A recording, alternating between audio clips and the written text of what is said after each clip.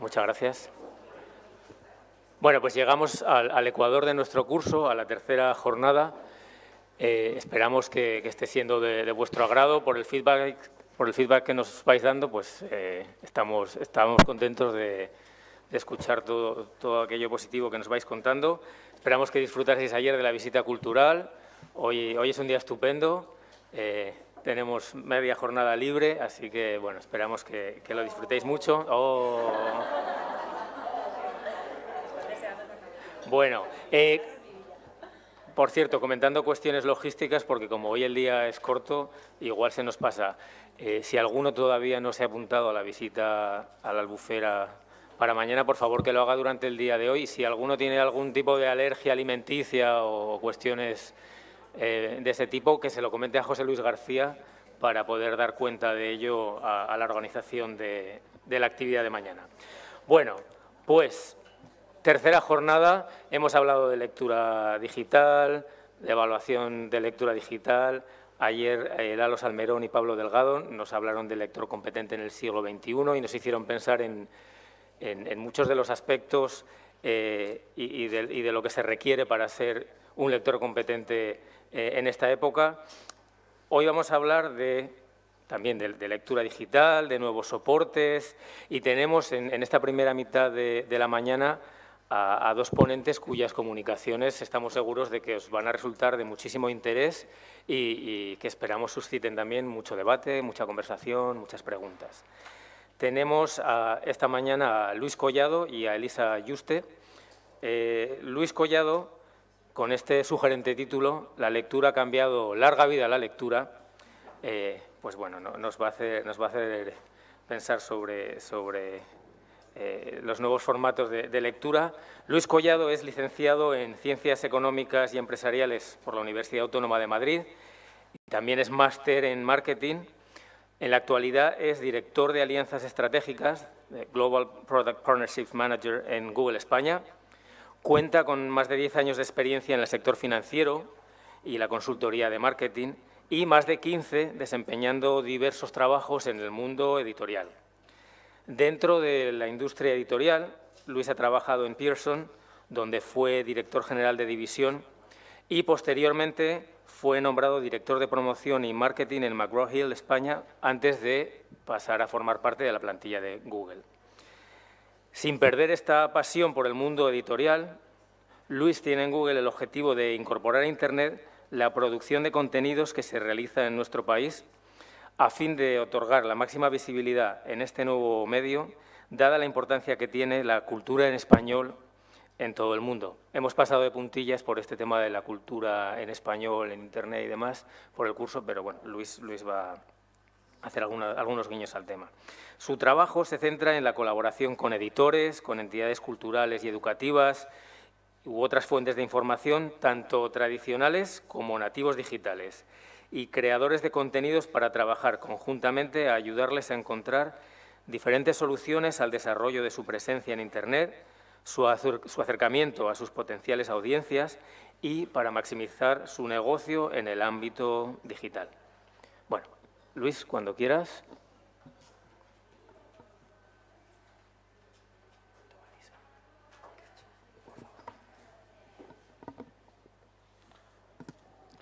Bueno, pues muchas gracias, Jorge. Buenos días. Eh, gracias por la invitación a hablar de lectura y de lectura digital en un entorno educativo. Ah, sois todos profesores, o sea, que lo que digamos aquí nos vais a poner nota después. Bueno, esperemos, esperemos cumplir, ¿vale? Eh, bueno, supongo que hay algo que nos une a todos los que estamos aquí, es el placer de la lectura. ¿De acuerdo? A todos nos gusta, a todos nos gusta leer. O supongo que nos debería gustar, nos debería gustar leer. Eh, leer ha sido una actividad y es una actividad eh, que forma parte eh, de nuestra vida, claramente. ¿no? Pero claro, cuando hablamos de, leer y hablamos de las generaciones más jóvenes, bueno, no, solo las generaciones jóvenes, las generaciones en las que somos también jóvenes, pero ya con unos cuantos años, como en la que yo me encuentro, estamos en una situación uh, un poco especial. Eh, a los que tenemos unos años nos enseñasteis a leer, bien, nos gusta leer, etcétera, pero claro, ahora han aparecido nuevas eh, opciones que nos dejan un poco descolocados. Y es claro, ahora ya eh, leer, mi actividad habitual cuando pensaba en leer era estar en el sofá de casa, levantarme a la estantería, coger un libro, en papel, abrirlo o leerlo, esa, cosa romántica que, que todavía dicen que tienen los libros en papel, etcétera, y empezarlo a leer. Ahora ya la situación es un poquito diferente. No sé si esa es la razón por la cual todavía eh, en las encuestas, o, yo no sé si todavía, pero sí parece que es una tendencia, eh, siguen diciendo que los españoles no leemos, que la gente no lee. ¿De acuerdo? Incluso dicen, dicen estas encuestas de hábitos de lectura que incluso es la gente joven la que lee más, que son la, la gente de más edad la que lee menos. Ah, me extraña. Claro, lo que pasa es que cuando hablamos de leer, Claro, eh, hay cosas que, ya parece que no existen. Yo me acuerdo de ir en el metro a la universidad y la mitad de la gente iba con un periódico en papel y la otra mitad iba con un libro abierto, leyendo en el metro. Ahora entro en el metro y yo creo que si hay alguien con un periódico en papel, está el resto del vagón así. ¿Qué es eso? que tiene en las manos. Si hay alguien que va con un libro abierto, pues pasa más o menos eh, lo mismo. Parece que leer ya no es una actividad que eh, está en nuestras vidas. Y claro, esto no es algo que nadie ha decidido por nosotros. No ha venido nadie, ha decidido quemar los libros, como Ray Bradbury decía en su, en su libro hace, hace muchos años. ¿no? Parece ser que es que las cosas están cambiando, están cambiando. Y desde el ámbito tecnológico, en el que yo ahora llevo trabajando unos cuantos años, pues lo estamos viendo. Las cosas están cambiando. Pero hay una máxima ah, que no sé si estamos todos de acuerdo, pero yo por lo menos a lo largo de los años y de los últimos años sí percibo eso. Nunca antes se ha leído tanto como se lee ahora aunque no haya gente en el metro leyendo el periódico, aunque no haya gente en el metro leyendo un, eh, libro. Nunca antes se ha leído tanto. Lo que ocurre es que, como decía al principio, las cosas están cambiando. Claro, ahora ya esta imagen de un chaval joven rodeado de libros, pues igual, no sé si esta imagen dentro de nada habría que llevarla al Museo de Arqueología, ya, de, esto es algo del, del pasado. Ahora las cosas son un poco diferentes. Ahora empezamos a leer todos, eh, no solo en papel, en el formato papel, que ha sido el tradicional, empezamos a leer en multitud de dispositivos, en nuestro ordenador, en nuestra tablet, en, esto. Eh, lo iba a llamar teléfono, pero si lo que menos hacemos con esto es llamar por teléfono. Eh, esto además, curiosamente, ¿hay alguien en la sala que no lo tenga consigo? Siempre hay una excepción. Dios santo, siempre que hago, que pregunto esto, hay una excepción. Bueno, la excepción confirma la regla.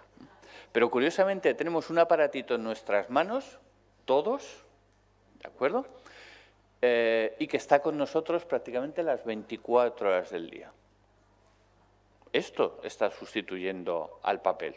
Estas son las cosas que están cambiando. Claro, ahora la gente lee mucho. Si la gente estamos todo el día mirando la pantalla del teléfono, del móvil, y estamos leyendo aquí. Leyendo, lo que es mm, leer, no la actividad o la competencia lectora que aquí en el curso estáis tratando. Pero la gente está leyendo la gente de todo tipo y condición. Lo que ocurre es que, claro, ahora ya no se lee como se leía antes, Ahora se leen en esa pantalla de móvil este tipo de cosas, las cosas que, se escriben, que nos escribimos unos a otros, que, eh, la, forma en la cual nos comunicamos ahora totalmente diferente unos a otros. Claro, eh, el problema que hay es que la lectura ahora, el leer, no solo está cambiando, sino que también, eh, pues bueno, mucha gente lo ve como una actividad secundaria, aburrida, etc. Fijaros, un pensador ha dicho recientemente esto, y en el ámbito digital es absolutamente clave. La gente no lee, en general, si tiene otra cosa con, que distraerse. Claro, cuando se leían muchos libros? Pues cuando no había televisión. Eh, pues claro, había que rellenar el tiempo. Ahora el tiempo se rellena de muchas maneras. Bueno, esto se dijo, y ya digo, en el ámbito digital es absolutamente importante, esto se dijo en el siglo XVIII. En el siglo XVIII. Las cosas no han cambiado, las cosas no han cambiado. La gente lee si no tiene otras formas de distracción. Claro, entonces, eh, ¿qué hay que hacer? Pues que la competencia que tiene ahora la lectura con otro tipo de actividades es, gracias o debido a eh, la aparición, la irrupción de todo el, ámbito digital, pues es diferente, es diferente. Claro, eh, si leemos por distracción, pues, si tenemos el Candy Crush al lado, ¿quién va a leer en este nuevo mundo digital por distracción un libro en, papel o, una actividad de lectura como nosotros la entendemos. Difícilmente. Si leemos por información, para informarnos, pues difícil, si es que aquí tenemos todo.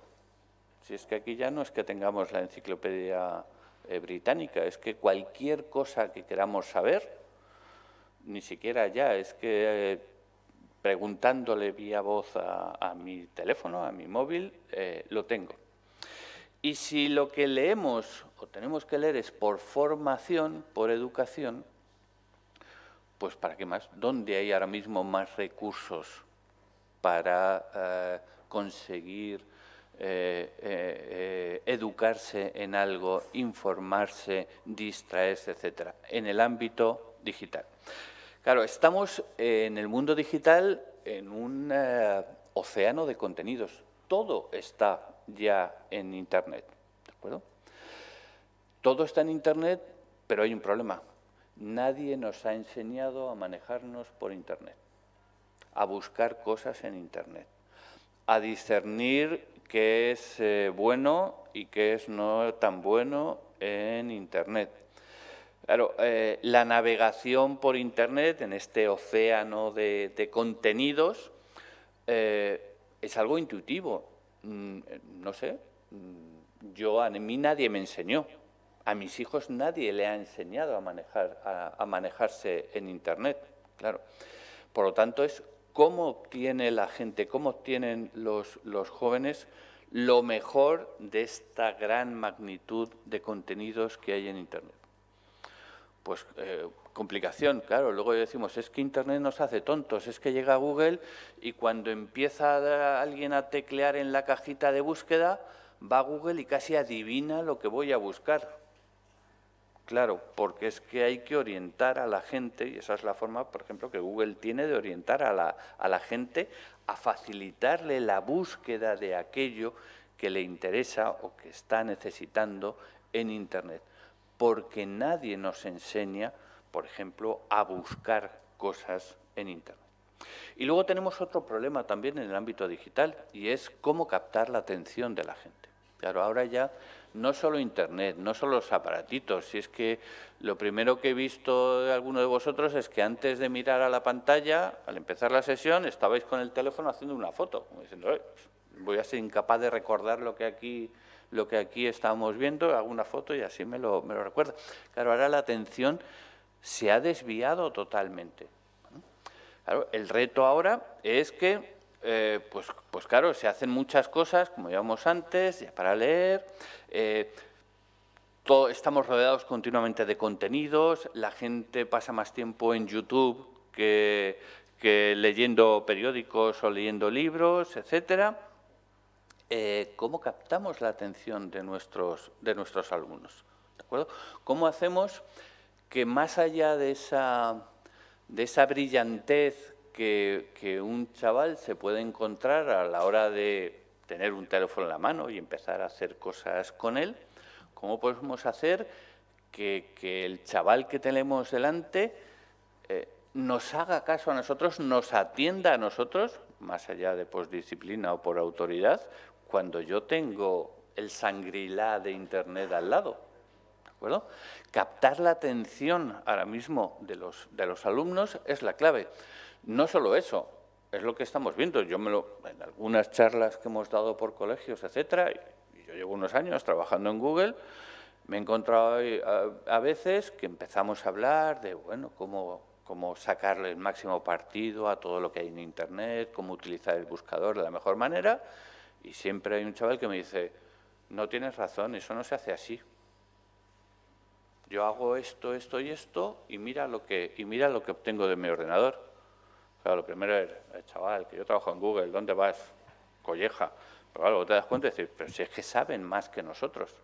Si es que han nacido, eh, han nacido ya eh, en, esta, en esta era digital. Es que no, les ocurre lo que a nosotros, que las primeras veces hace unos años que cogíamos el ratón, lo cogíamos que nos daba miedo porque, parecía que iba a dar calambre. ¿no? Y ahora, ahora eh, tenemos el teléfono en la mano y decimos, a ver cómo con los dedos amorcillados hago así y lo toco casi también un poquito con aprensión. Y todos habéis visto que ya los chavales, pero bueno, no los chavales, incluso es que los bebés les pones una pantalla delante e intuitivamente empiezan a hacer así, a buscar cosas, etcétera. Saben más que nosotros, en muchos casos, saben más que nosotros. Claro, el reto es muy grande, por lo tanto, el cómo educarles a manejarse en este eh, mundo digital. Porque claro, ahora leer, lo que aquí estamos hablando, es una actividad más, que ahora lo que habitualmente eran los grandes ejes eh, de la educación, escuchar, pensar, leer, observar, hacer, claro, es que ahora todo esto ya se hace en Internet. Es que todo esto es lo que ofrece Internet. ¿eh? Antes los libros, formato papel, lo que ofrecían era lectura, si acaso pensamiento, si es que les habíamos enseñado a los lectores a ser capaces de pensar sobre lo que estaban, absorber y pensar sobre lo que estaban leyendo. Es que ahora, si la fuente de contenidos es Internet, cualquiera ya podemos hacer todas las actividades necesarias a través de Internet escuchar, por supuesto leer, por supuesto pensar. Estamos, estamos eh, nosotros moviéndonos, eh, adquiriendo cosas continuamente a través de las pantallas, observar y sobre todo también hacer. La interacción es algo absolutamente clave. Y en este contexto ah, trabajamos con lectura digital. ¿vale? Claro, eh, lectura y ámbito digital, aunque lo hayáis visto aquí, hay momentos que nos hacen pensar de, ¿esto tiene sentido? Concepto de lectura y entorno digital se conectan, pues se conectan, sí, pero como decía antes, el problema es que no nadie, nadie antes nos ha enseñado a movernos en este nuevo entorno, a manejarnos en este nuevo entorno. Porque la lectura digital, y hay cosas que no lo sé, eso me lo tendréis que decir vosotros, que trabajáis en el, día a día en este tema, hay conceptos absolutamente claves en el, eh, alrededor de la lectura digital que no sé si se trabajan en el aula, pero yo los digo para ver y para que luego en el debate nos podáis decir si realmente se trabajan en el aula o no. En primer lugar, la lectura digital es absolutamente personal absolutamente individualizada. Cuando digo lectura digital, por supuesto, estoy hablando de acceso a contenidos, abro comillas, lectura, cierro comillas, en el entorno digital a través de cualquier dispositivo, sea ordenador, sea tablet, sea teléfono, sea la pantalla de 42 pulgadas de Smart TV que tenemos en el salón de casa, o sea ya la pantalla que, algunas neveras hasta ya tienen en el, en el frente, ¿vale? Independientemente de pantallas, dispositivos.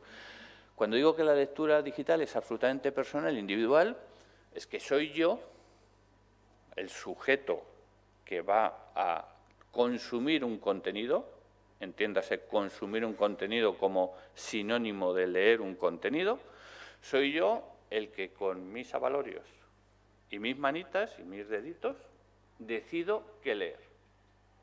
Soy yo el que hago así, ¿de acuerdo? Y, y decido qué voy a leer. ¿O qué voy a escuchar? ¿O qué voy a hacer? Soy yo con mis dedos. Por lo tanto, el recomendar lecturas, el obligar a leer, el obligar, ya digo, hablemos de leer o consumir contenidos en cualquier manera, no vale nada, no vale de nada. Fijaros la gran diferencia que tiene el tema en leer en digital.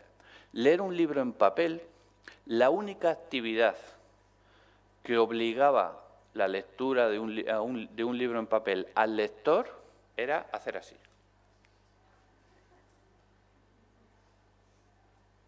Pasar la página. ¿De acuerdo? Nada más.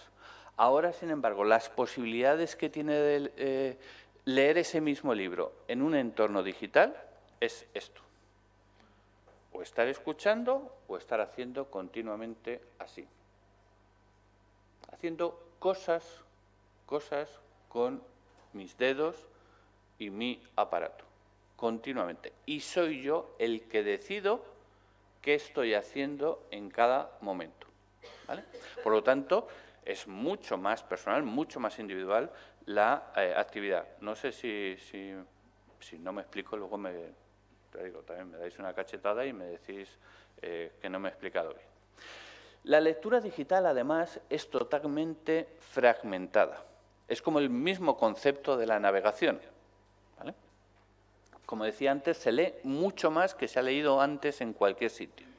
Lo que ocurre es que la forma de leer, el concepto de lectura, ha cambiado, claro. Ahora ya el leer un texto de principio a fin, con concentración absoluta, etcétera, es algo muy complicado. Claro, decimos, leemos más que nada, más que antes, pero claro, leemos un WhatsApp por aquí, un tuit por allá, la entrada a un artículo de prensa, el primer párrafo del otro lado, pero, pero el primer párrafo, no voy a empezar así a acabar todo el texto, todo el artículo y que acabe teniendo agujetas en el dedo de pasar pantallas y pasar pantallas. Es decir, la lectura digital es de picoteo, de picoteo. Y claro, nadie enseña a la gente a cómo manejarse en esta lectura de picoteo, porque el entorno lo favorece. Lectura fragmentada, lectura de picoteo. Además, la lectura en el ámbito digital es totalmente discontinua. Tengo tantas opciones, me ofrecen tantas opciones por un lado, por otro, etcétera, que lo único que sé es dónde empiezo, nunca sé dónde acabo. De hecho, hay ya, desde el punto de vista de creación, muchas actividades que te permiten el que el lector vaya decidiendo el camino que un libro ha de seguir. Ya no, los libros ya no se crean de forma lineal, sino se crean casi de forma eh, en red. Yo, lector, empiezo un camino, la lectura, por ejemplo, de un libro, y a partir de ahí puedo ir tomando decisiones para ir variando el rumbo de la historia, de los personajes, etcétera, etcétera. El ámbito digital lo permite perfectamente. La lectura digital además es hipervinculada. Es, este es el gran, el gran, eh, mm, la, la gran clave, el gran reto que todos tenemos por delante a la hora de leer en ámbito digital. Yo empiezo a leer un texto, negro sobre blanco, ¿de acuerdo? Empiezo a leer y de repente aparecen una palabra en azul. ¿Qué hace la gente? Clic. hipervínculo, clic, a partir de ahí salgo de donde estaba y me voy a otro sitio. Y pasa lo mismo, empiezo a leer y aparece otra palabrita en azul. ¿Qué hago? Pip, para allá.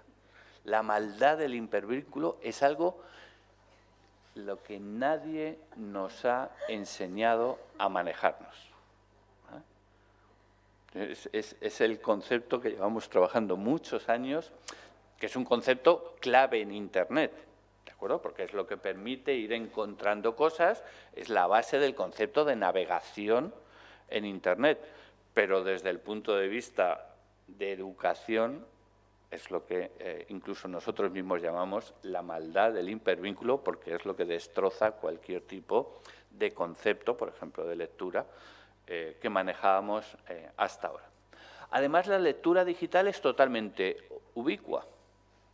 Está en todos los sitios, es decir, yo ya no dependo, yo tengo el contenido, tengo el texto, y ya no dependo de un formato porque están totalmente asociados y son indisolubles contenido y formato, como era el libro. Es que ahora, como pasa en cualquier otro tipo de contenido, en el ámbito digital, por ejemplo, música, etcétera, formato y contenido se eh, separan. Y significa que el mismo contenido lo puedo encontrar por muchos sitios diferentes. Eh, eh, yo os cuento, por ejemplo, lo que a mí me gustaría hacer para leer la siguiente vez El Señor de los Anillos. Yo soy un apasionado del Señor de los Anillos. Eh, es mi lado friki. Aparte de ser el Atleti, El Señor de los Anillos. Bueno, a mí me gustaría leer El Señor de los Anillos de esta manera la próxima vez que lea, que lea eh, el libro, que acceda a este, a este mundo eh, de Tolkien. Voy a empezar, pues como a mí me enseñaron, como yo decía antes, que era mi concepto de lectura. Un domingo por la tarde, sentado en mi sofá, lluvioso, la lluvia pegando sobre el cristal, etc. Me voy a levantar, voy a coger el libraco del Señor de los Anillos que tengo en la estantería, me sentaré en mi sofá y empezaré a leerlo. ¿vale? Y lo estaré leyendo tranquilamente en papel mientras la lluvia azota. Muy bonito, ¿eh? Muy bonito. Pero claro, al día siguiente me tengo que ir a la oficina. Voy a coger el metro y llevarme los cuatro kilos y medio del librito de Señor de los Anillos es un poquito pesado. Pues, ¿qué voy a hacer? Pues voy a ir en el metro con mi teléfono exclusivamente, voy a abrir El Señor de los Anillos, voy a ir al sitio donde me quedé anoche en el, en el libro y voy a seguir leyendo El Señor de los Anillos en el metro en mi teléfono. Llego a la oficina, me pongo a trabajar tengo que trabajar, pero a la hora de comer, como en 20 minutos, y tengo un ratito libre, bueno, pues lo que voy a hacer es que en la pantalla de ordenador que tengo en, en mi mesa, pues abro El Señor de los Anillos, se me sincroniza el formato digital con lo que yo tenía en el teléfono, por lo tanto me pone en la siguiente frase a donde yo había acabado en el metro leyendo El Señor de los Anillos y sigo leyendo El Señor de los Anillos en la pantalla de mi ordenador. Pero es que además, como estoy relajado después de comer, activo, activo una cosa y lo que yo trabajo siempre con auriculares, ¿vale? Pues voy a activar el escuchar una música relajante, por ejemplo, mientras estoy leyendo El Señor de los Anillos en la pantalla del ordenador. Es el momento tranquilo después de comer. Acabo de trabajar, Vuelvo a casa, sigo leyendo El Señor de los Anillos en mi teléfono. Llego a casa, me siento tranquilamente en el salón, no me apetece coger el libro en papel, lo que, abro es enciendo lo que hago es enciendo la televisión, me aparece El Señor de los Anillos en la televisión, ¿de acuerdo?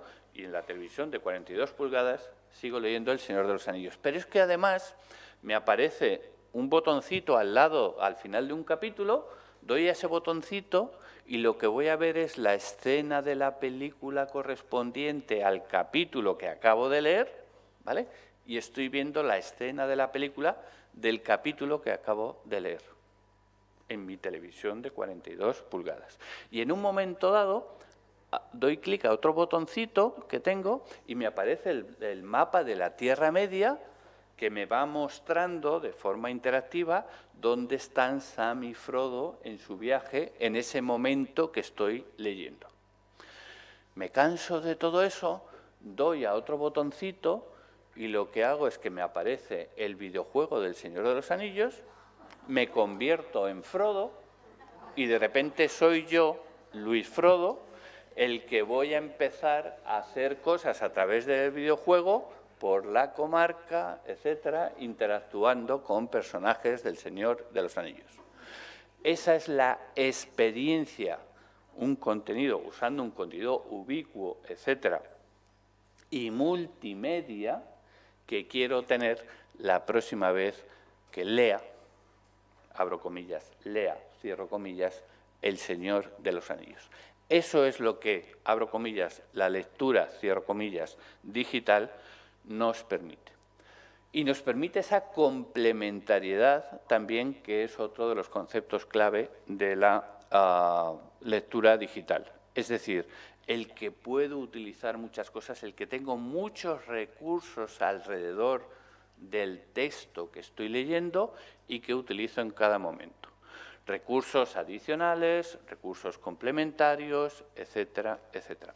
Cosa que si no, esa misma actividad en, el ámbito tradicional no es, tan, no es tan fácil. Y como habéis visto, he acabado además con otro de los conceptos que es absolutamente clave en la lectura eh, digital, y es que permite la interactividad entre el texto y el lector. El lector, como decíamos al principio, se convierte en protagonista, tiene la capacidad de decidir qué hacer en cada momento y además el texto permite, gracias al desarrollo digital, esa interactividad que hace que nosotros nos sintamos absolutamente protagonistas de la actividad eh, lectora. Y por último, y eso me ha faltado todavía, pero es que yo soy todavía un, eh, ser asocial, la lectura digital me permite ser social porque muchas de esas actividades leyendo El Señor de los Anillos que, hemos comentado, las podría estar compartiendo, eh, eh, eh, explicando, interactuando, etcétera, con mis amigos, con los mismos frikis del Señor de los Anillos como soy yo, por ejemplo, y discutiendo al mismo tiempo de por qué este personaje hace esto, no sé qué, etcétera, porque al final el ámbito digital es social, social entendido, eh, no entendido de la manera tradicional. Y por lo tanto la lectura también, la lectura, se puede convertir en una actividad de relación entre las personas. Conceptos radicalmente diferentes a lo que es la lectura tradicional, según la hemos entendido hasta ahora, y como decía, eh, eh, nadie nos enseña. Nadie nos dice cómo manejarnos, nadie nos dice cómo sacar el máximo partido del concepto social de la lectura digital, de cómo sacar el máximo partido de la ubicuidad de los contenidos en el ámbito digital, cómo sacar el máximo partido de las posibilidades multimedia que la lectura digital nos ofrece. Nadie nos ha enseñado a manejarnos en este, en este entorno. Pero bueno, esto es lo que más o menos tenía que decir. Eh, el título de, esta participación era ah, La lectura ha cambiado, creo que ahí todos estamos de acuerdo. Larga vida a la lectura. Claro, eh, podemos leer en papel, perfecto. Podemos leer en digital, estupendo. Pero cuando digo larga vida de la lectura, es que sí estaremos, espero, todos de acuerdo en una última cosa, y es que lo importante es que la gente lea. Por lo menos para mí. Que lea en papel, que lea en digital, es lo de menos. Lo importante es que la gente lea. Y lo importante es que la gente sepa qué leer, cómo leer y cómo sacar el máximo partido a esa actividad independientemente del formato de dispositivos, de aparatos, eh, etc. Y esa, eh, el hacer que la gente sepa qué leer, cómo leer y sacar el máximo partido es lo que es la responsabilidad de todos nosotros, porque la lectura, el concepto de lectura, eh, irá cambiando a lo largo del tiempo.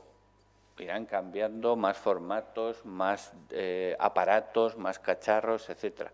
Pero el concepto de leer es absolutamente clave en la vida de todos nosotros. Y ya digo, sacar todo lo óptimo de esa actividad está en nuestras manos. Eh, alguien también que creo que todos conocemos dijo hace no mucho tiempo, si no te gusta leer, es que no has encontrado el libro correcto. Porque vuelvo al punto en el cual eh, iniciamos. A todos creo que nos gusta leer y yo creo que a todo el mundo le debería gustar leer.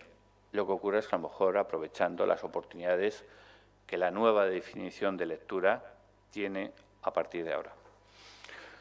Pues ya está, eso es lo que os tenía que decir. Muchas gracias.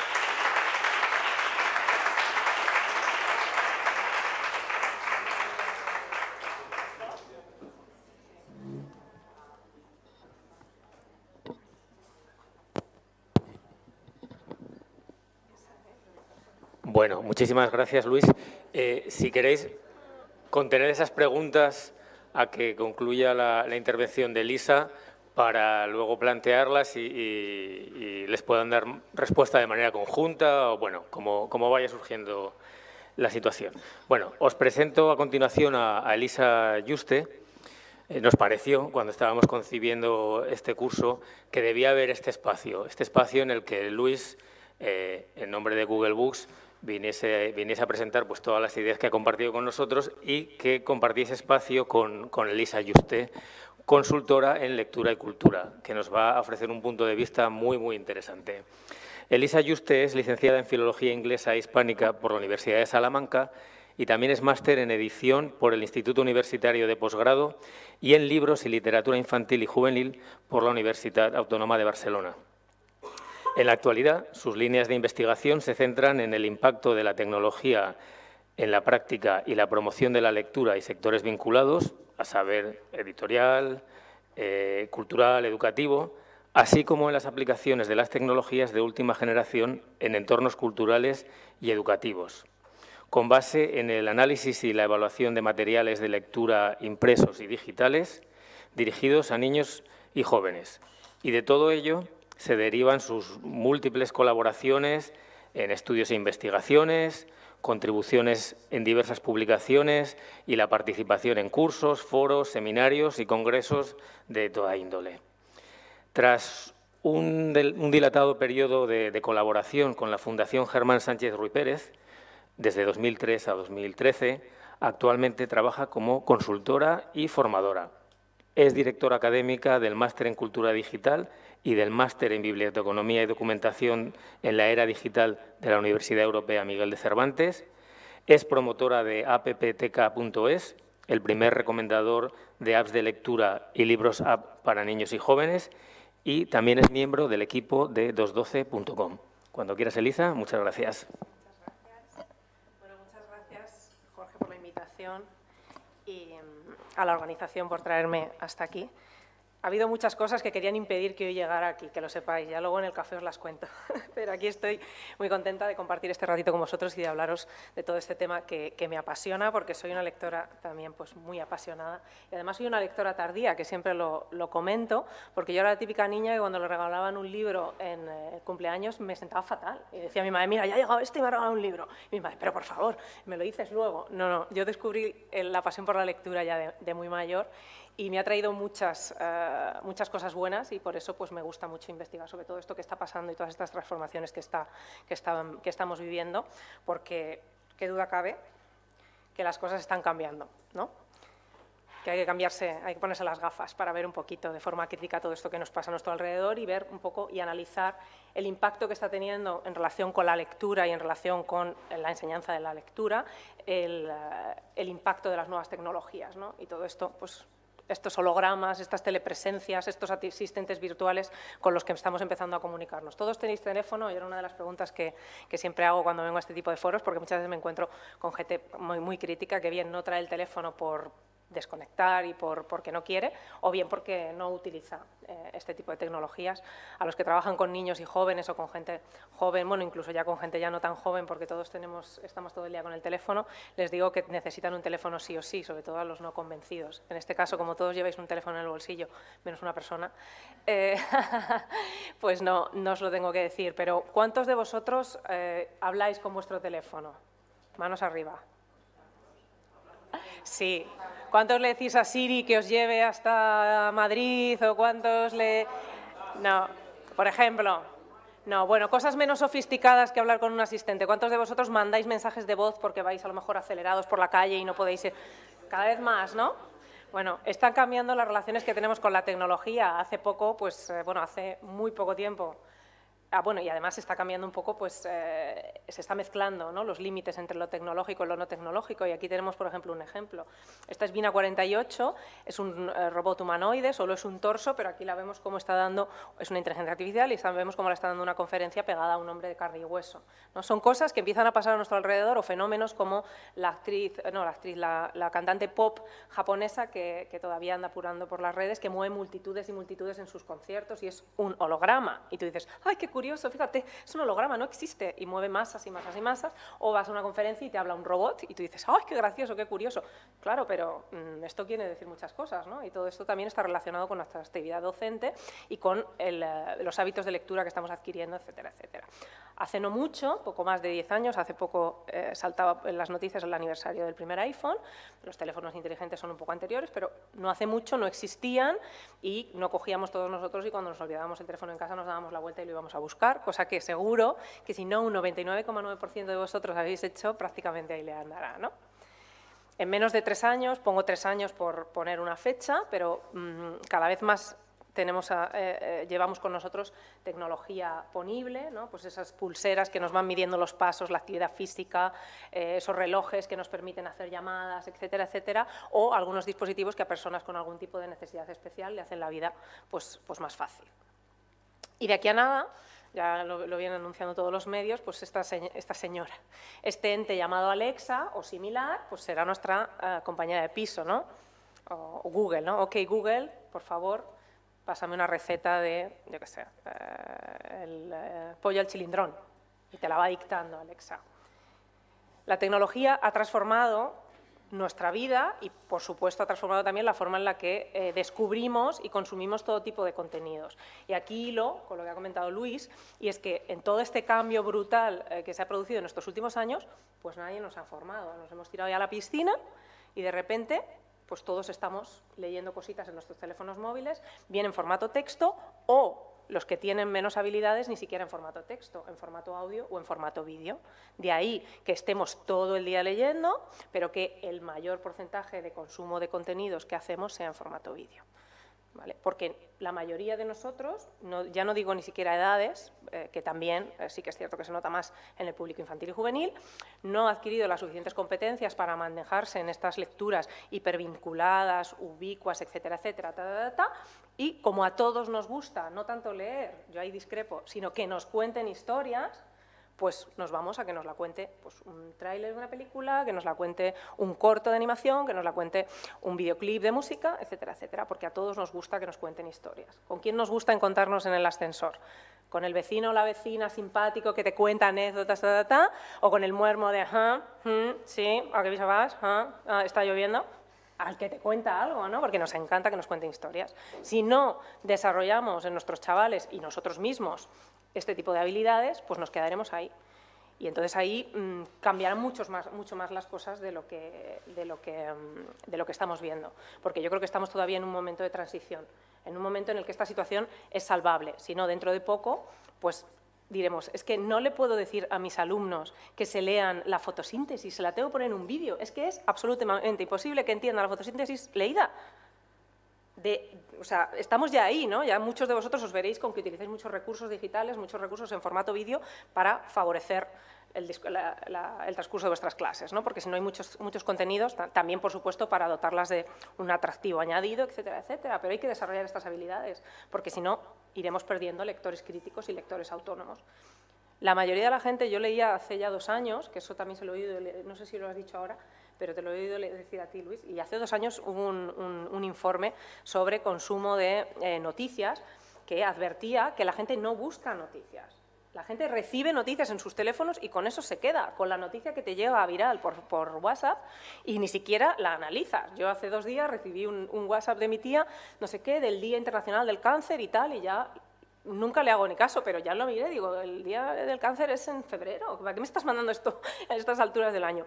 porque no leemos, no procesamos, vamos pasando, las cosas sobre todo que nos tocan, la mayoría de estas informaciones virales pues tienen ese componente emocional, emotivo de data, entonces no estamos generando una masa crítica de consumo de contenidos digitales. Y claro, si no hay una masa crítica, pues ya todo lo que va añadido de elegir buenas lecturas, poder hacer pues todas esas transiciones de ahora escucho el audiolibro, me paso al juego, lo veo en la pantalla, ta, ta, ta, pues se nos escapan mucho de las manos. Al final son unas posibilidades maravillosas que nos, que nos brinda la tecnología y que nos permite hacer la lectura en soporte digital que nos las perdemos, porque para hacerlas pues tienes que tener ciertas destrezas y ciertos conocimientos. Para que veáis un poco el punto de cambio en el que estamos, casi un 90% del proceso de descubrimiento de contenidos, yo aquí también hablo de contenidos, entiéndase eh, propuestas de lectura, contenidos de lectura, ¿vale? son contenidos en soportes muy variados, pero yo vengo de una escuela, que es la Fundación Germán Sánchez Ruy Pérez, en la que llevamos, pues mira, yo entré en 2003, con lo cual 15 años, hablando de que leer es leer un libro, pero también es leer una película, es leer una pieza musical, es leer una obra pictórica. Para nosotros siempre ha sido ese el concepto de lectura, en el sentido de enfrentarte a algo que necesita ser descifrado y saber analizarlo. O ver una noticia y saber que el periódico que saca al, político de turno desde este ángulo, pues está pro esa línea de pensamiento frente al que lo saca desde este otro, que bueno, pues son cosas que si no sabes leer imagen o no sabes leer de forma crítica, pues no caes. ¿no? El, cómo están sacadas las cosas o cómo se hacen, ¿no? o la imagen está de Cifuentes con la cara descompuesta. ¿no? Pues, pues dependiendo del medio, pues se hacen eco de unas informaciones en según qué formato y para hay que ser crítico. Entonces vengo de esa escuela y para mí todo eso es lectura, pero todos sabemos que, que todo eso sea lectura y que estemos continuamente leyendo, porque estamos continuamente con el telefonito, tiki, tiki, tiki, tiki, tiki, tiki, no nos hace lectores competentes, que ese es el problema. Estamos todo el día leyendo, pero ese tipo de lecturas están bien, nos proporcionan información, nos proporcionan ratos de ocio, etcétera, nos ayudan a comunicarnos, etcétera, etcétera, pero no nos ayudan a crecer como lectores, con lo cual, cuando nos enfrentamos a propuestas que tienen unos niveles de exigencia mayores, ¡ah! no podemos. Bien en cuanto a la, complejidad del contenido o bien en cuanto a todas estas eh, posibilidades, estas funcionalidades que nos ofrecen los soportes de lectura digital, que para saber cómo van, pues tienes que conocerlos. Si no, es muy difícil. La tecnología ponible, los asistentes de voz, pues van a hacer que todos estos procesos se personalicen aún más, porque nos miden las pulsaciones, saben si determinada lectura nos está poniendo nerviosos o no nos está poniendo nerviosos. Hablo de lecturas y, dentro del sector editorial no se ha trabajado tanto este análisis, aunque sí que hay algunos ejemplos interesantes, ¿vale? pero es, está, es, muy utilizado, por ejemplo, en museos o es muy utilizado en relación con el mundo musical. ¿no? Si determinadas canciones, pues análisis de, pues esto a la gente la pone feliz, pues no te van a poner una canción que te hace llorar cuando entres en Zara, porque claro, no te vas a comprar la falda, o sea, es que no, pero canciones que a la gente en general pues la hacen sentirse positiva, pues hay toda una serie de análisis que, hacen que, conozcamos esa información. Con lo cual, los asistentes de voz igual. Yo hace unos años eh, estuve, todos los años voy a Estados Unidos, a Austin, Texas, a un evento que habla sobre el impacto de la tecnología en las industrias culturales y descubres cosas absolutamente fascinantes. Y hace tres años o así estaba escuchando a uno de los eh, grandes jefes de eRobots, que son los eh, creadores de eh, el robot este que tenemos en casa barriendo, la roguenta, no, la roguenta no, la, la rumba. Y entonces, bueno, fue muy interesante toda la charla que nos dio y eh, alguien preguntó, perdone, pero todos estos robots eh, graban información o, recogen información de las casas de los usuarios, de los usuarios. No, no, no, no, para nada. Y la última diapositiva ponía, los robots Rumba ya se han recorrido no sé cuántos miles de millones de millas en todo el mundo. entonces, Bueno, pues recientemente habéis visto en los periódicos, recientemente digo hace unos meses, porque tengo un poco de distorsión con las tiempos, soy un poco disléxica, eh, cómo reconocían que cogían un montón, recopilaban un montón de información. Y hay muchos servicios que advierten que activan eh, los audios o los, micrófonos, etcétera, etcétera, para mejorar la experiencia del cliente de mejorar la experiencia del cliente es verdad, pero también sabemos que todo eso puede tener muchas otras utilidades menos mm, éticas o menos tal y que además mm, pues puede ser hackeable, que también lo hemos visto recientemente, escándalos importantes. ¿vale? Todo este panorama tiene que hacernos que como mediadores digamos, ostras, hay que ponerse las pilas con esto, porque es que si no, o sea, solo vamos a leer lo que nos manden a nuestro teléfono, porque ya muchas veces lo hacemos. Ya muchas veces no tenemos tiempo por la mañana de ponernos a ver dos o tres medios distintos en tal, no los tenemos indexados o lo que sea, no utilizamos un agregador de contenido y entonces te enteras de las dos cosas que el mundo ha querido que te enteres o que la app de turno ha querido que te enteres, del resto de cosas que pasan en el mundo no nos enteramos y así con todo. ¿no? Pues de muchas propuestas digitales de interés que vamos a ver y que a mí me parecen interesantes porque pueden ayudar a la formación de lectores digitales competentes y críticos y porque también nos van a dar muchas claves para vincularlo a la lectura en papel y para que se retroalimenten, pues todo eso nos lo perdemos. Pensamos que en todo este contexto de cambio y transformación las bibliotecas, los colegios pueden seguir manteniendo su mismo papel o sus mismos esquemas o sus mismos espacios.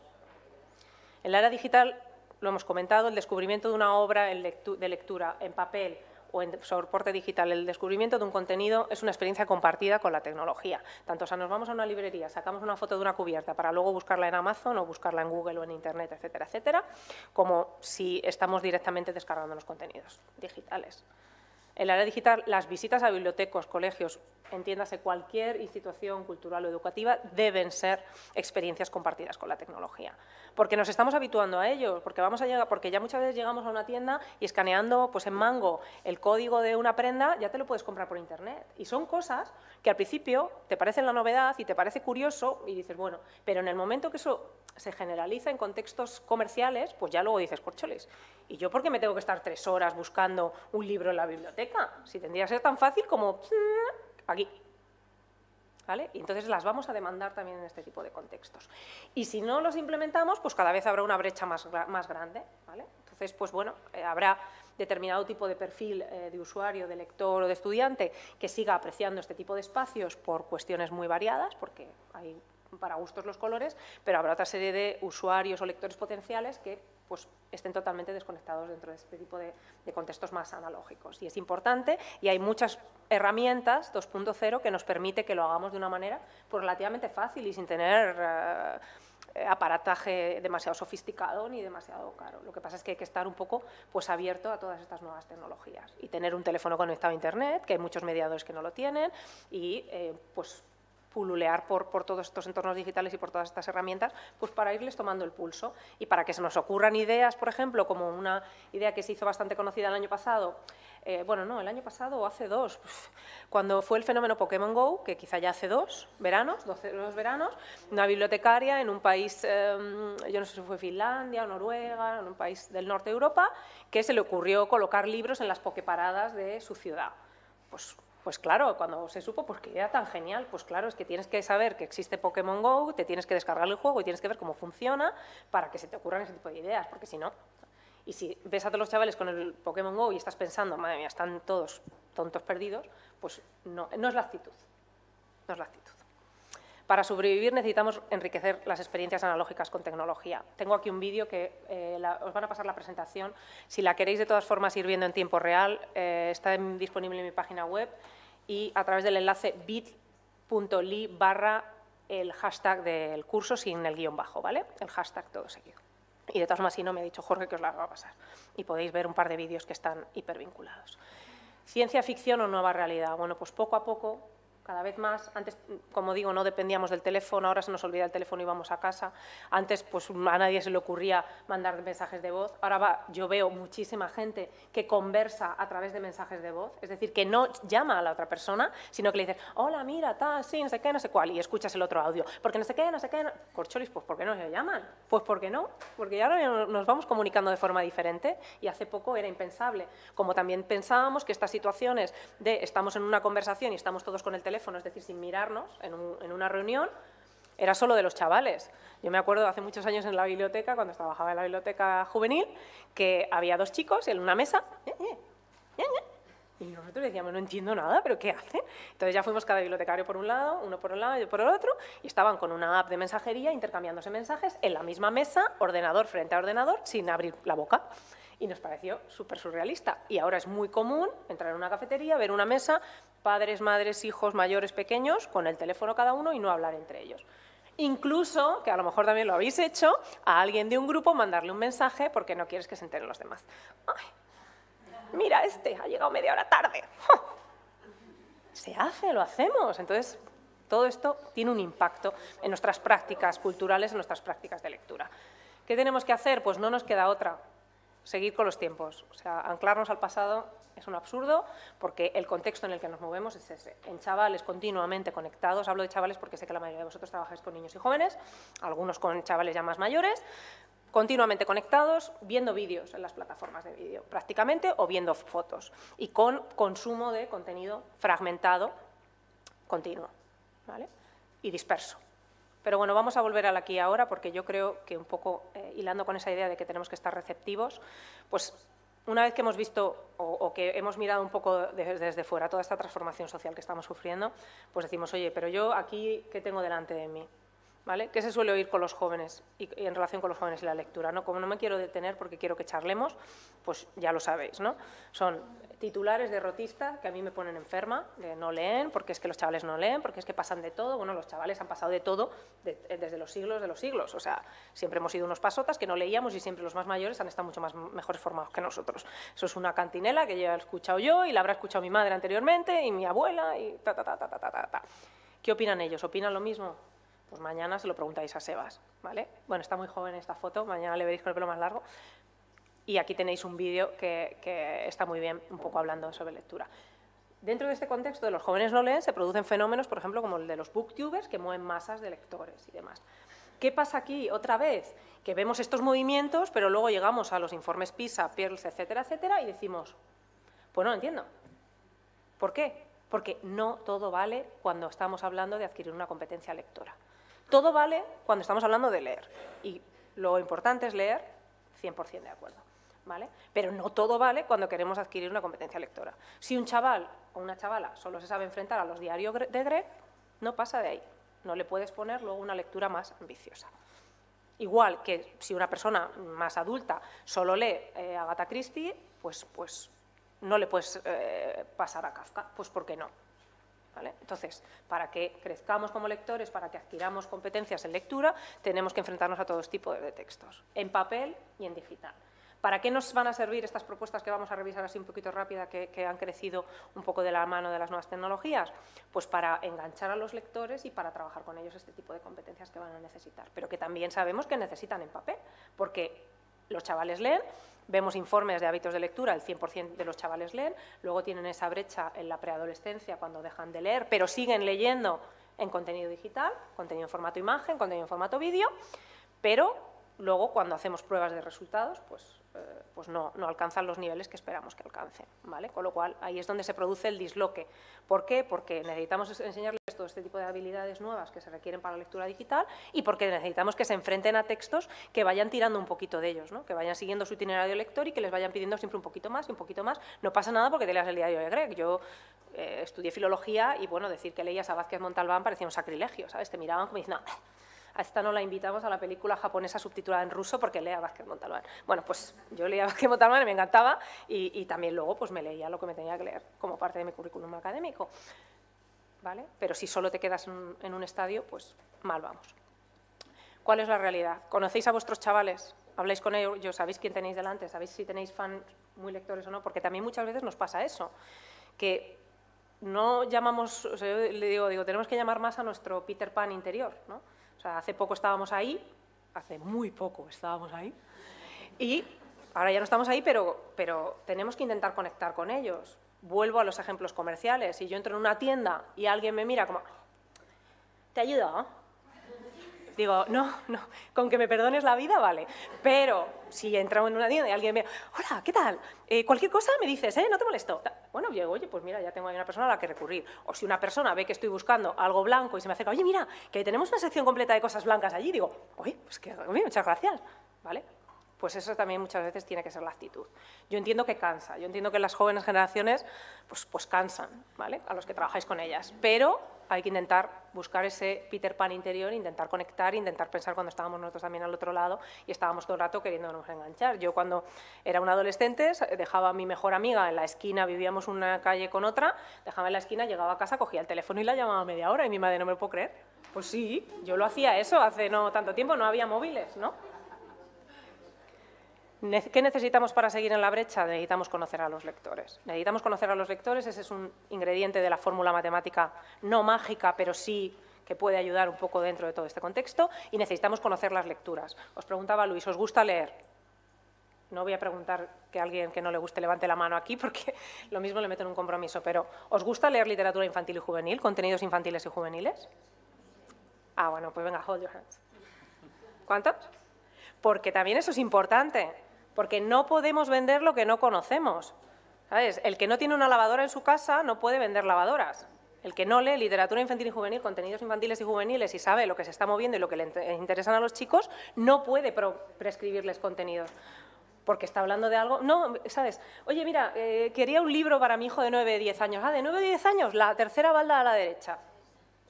No, hombre, que le gusta, que le interesa, cuáles son sus temas, tal cual.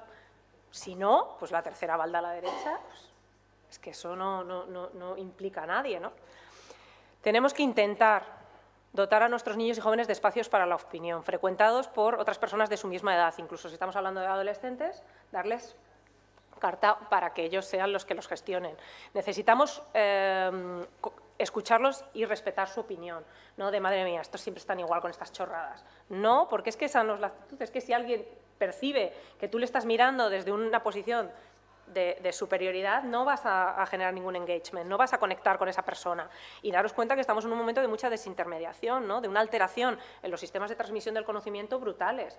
Antes era pues la biblioteca, de la biblioteca pasábamos a oh, el contenido, esta maravillosa lectura, y luego ya el lector el último mono. La web que ha hecho, no, no, yo, que soy el que le doy al botoncito, decido lo que hago, lo que no hago, si pincho en esto, si pincho en lo otro. Entonces, no podemos intentar mantener ese tipo de esquemas, no quiere decir desautorizarnos, no me, malinterpretéis, pero no podemos intentar mantener ese tipo de esquemas jerárquicos o de menosprecio hacia personas que consideramos que tienen unas menos capacidades que nosotros, porque no van a servir para engancharlos positivamente en este tipo de prácticas. Y engancharlos positivamente nos interesa porque va a ser la forma de luego poder trabajar con ellos realmente sus habilidades y sus competencias lectoras. Porque si simplemente intentamos imponer una serie de conocimientos, pues bueno, pues para el examen se los aprenderán y los harán, pero así no se forman lectores. También necesitamos conocer aquellos espacios en los que ya se mueven. Hay comunidades brutales de chavales en Wattpad escribiendo, leyendo. Yo eh, hace un par de años en Liber escuchaba a un editor eh, muy conocido, que no voy a decir su nombre, eh, que estaba totalmente escandalizado porque una de sus hijas le había dado por leer únicamente contenidos en Wattpad. Y decía, madre mía, todos estos años de buena literatura y toda esta biblioteca maravillosa que tengo en casa y mi hija solo lee contenidos de Wattpad. Bueno, pues no pasa nada. Métete en Wattpad, mira a ver qué estás leyendo, qué no, y encontrarás probablemente esos anclajes con esos contenidos que tú les quieres hacer llegar. Estas cosas que parecen circunstanciales, que pasan a veces y que se hacen también conocidas, como que a los chavales les dé por el, mundo de los vampiros, gracias a la saga Crepúsculo, pero que luego de repente saquen de la biblioteca Wuthering Heights, pues, pues no son tan casuales. Es que es el libro favorito de la protagonista de la historia. Entonces, no es casual. ¿Cómo lo sabes? Pues si te estás leyendo la historia. ¿Y por qué te la tienes que leer? Pues porque es un fenómeno entre los chavales con los que estás trabajando. ¿Vale? Y así se te ocurren esas ideas. Y la autora de Heights tiene otra serie de libros. Y si no, pues hay otra serie de libros en esa onda. Y entonces es lo que te puede servir para ir enganchando unas lecturas con otra y para ir proponiendo a los chavales cada vez retos más exigentes. Y para que pasen a lo mejor de crepúsculo con un par de avances a las crónicas vampíricas, que hombre, son vampiros, pero eso ya es otra cosita. ¿vale? Adecuar los espacios, servicios y actividades a sus gustos e intereses, en la medida de lo posible. Veíamos antes una foto de una biblioteca escolar eh, súper terrible que no inspira pues nada o no invita nada a estar dentro de sus, del espacio, ¿no? pues hay que intentarlo. Yo sé que es difícil y sé que estáis en estructuras que muchas veces nos dan ese tipo de opciones, pero yo muchas veces lo digo, digo es mucho, muchas veces es mucho más útil invertir el pequeño presupuesto que tenemos en un par de sofás de Ikea que en libros. Y hay muchos profesores que me miran como, Ay, no sabes lo que estás diciendo. Digo, sí, sí sé lo que estás diciendo, porque llevas cuidando tu fondo un montón de años, tienes unas, unas, obras estupendas, no van a estar a la última, no van a estar a la última, pero por lo menos va a apetecer acercarse a ellas.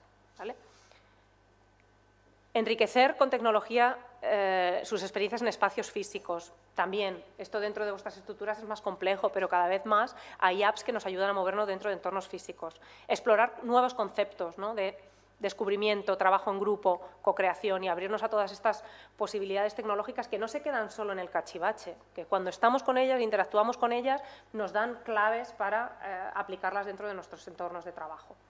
Veremos luego alguna batería así muy rápido.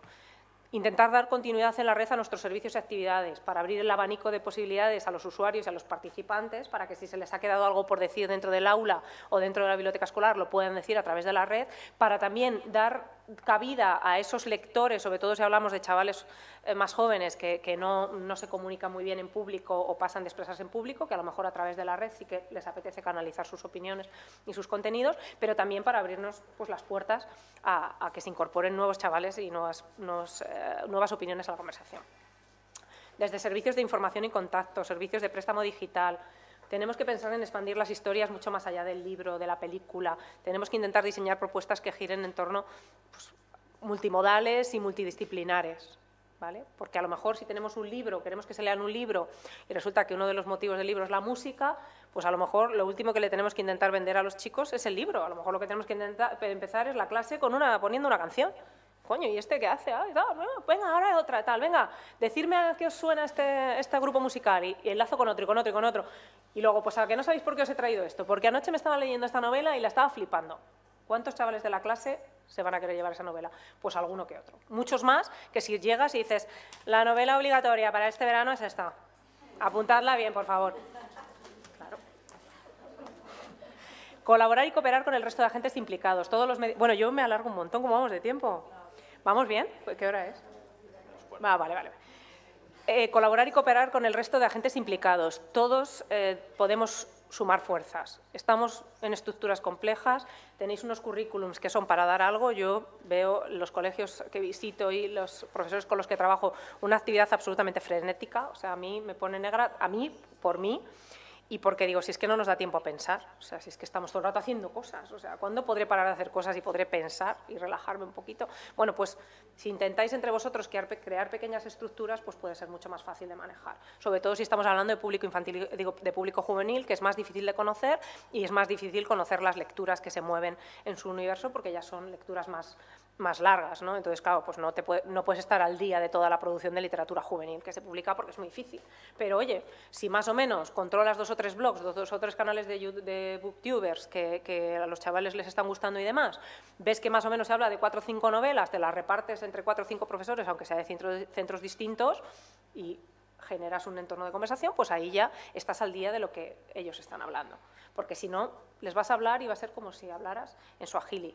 Incluso muchas veces cuando hacemos ese esfuerzo de decir, venga, no les voy a recomendar pues, lecturas más clásicas, voy a recomendarles lecturas más frescas, más nuevas, más tal. Pues muchas veces ni siquiera con esas conseguimos ese efecto, ¿vale? porque hay que transmitirles un poco esa motivación. Reciclarnos continuamente. Los, eh, también esto no sé si os habéis dado cuenta, seguramente sí, porque trabajáis con chavales. A un adulto le engaña súper fácilmente. Oye, que hay que leerse Patria, Taramburu. Te lo apuntas, en cuanto alguien te dice que te quiere regalar algo de, pues regálame Patria de Aramburu, porque lo tengo aquí apuntado, o en cuanto vas a una librería te lo compras y, oye, hay que leerse Patria de Aramburu, me leo Patria de Aramburu. A un chaval hay que leerse no sé qué. ¿Por qué? ¿Para qué? ¿Eh? Bueno, eso es el que, eso el que articula. La mayoría la ¿eh? que dice, pero el que articula te dice, ¿por qué? ¿Para qué? ¿De qué va? Claro, si no te lo has leído, si no lo conoce, o si le dices, no, pues yo qué sé, va de esas cosas que os gustan a vosotros. Hombre, por favor y estar motivado, pasárnoslo bien. Esto es súper divertido. Hasta yo, hago muchas terapias con mi hijo, es pequeño, pero se lo pasa bomba. Tengo una hijada adolescente que no le gusta leer, entonces siempre estoy usando la de cobaya y ya me lo dice. Ya viene aquí mi madrina con alguna de sus ideas. Hasta en el reggaetón se pueden incluir. Bueno, en el reggaetón esto ya es muy fuerte.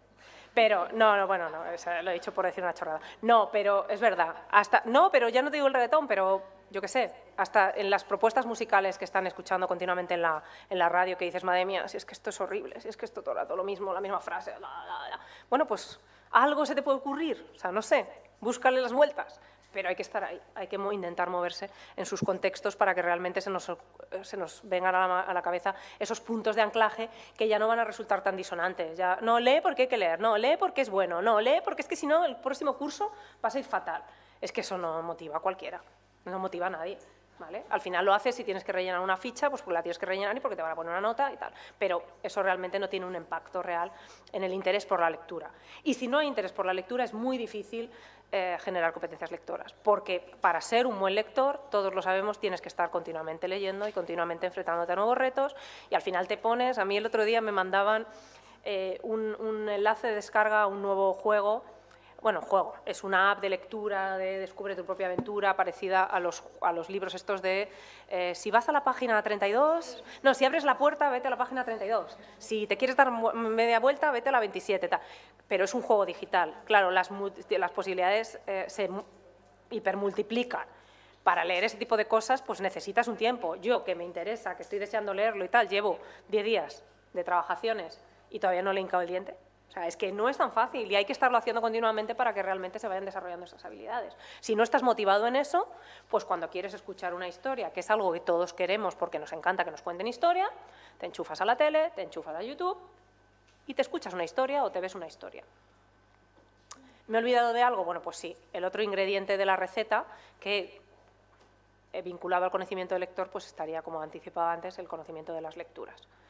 Vamos a ver un pequeño aperitivo tenemos desde lecturas a caballo entre lo analógico y lo digital, es decir, libros en papel que se enriquecen con un componente digital. Bueno, aquí tenéis un ejemplo, todos van acompañados de un hipervínculo por si queréis profundizar un poco y conocer estas propuestas de primera mano. ¿vale? Este, este libro incorpora tecnología sensorial, entonces cuando descargamos la app y la ponemos junto al libro, según vamos moviendo las páginas, se activa contenido diferente dentro de la tablet.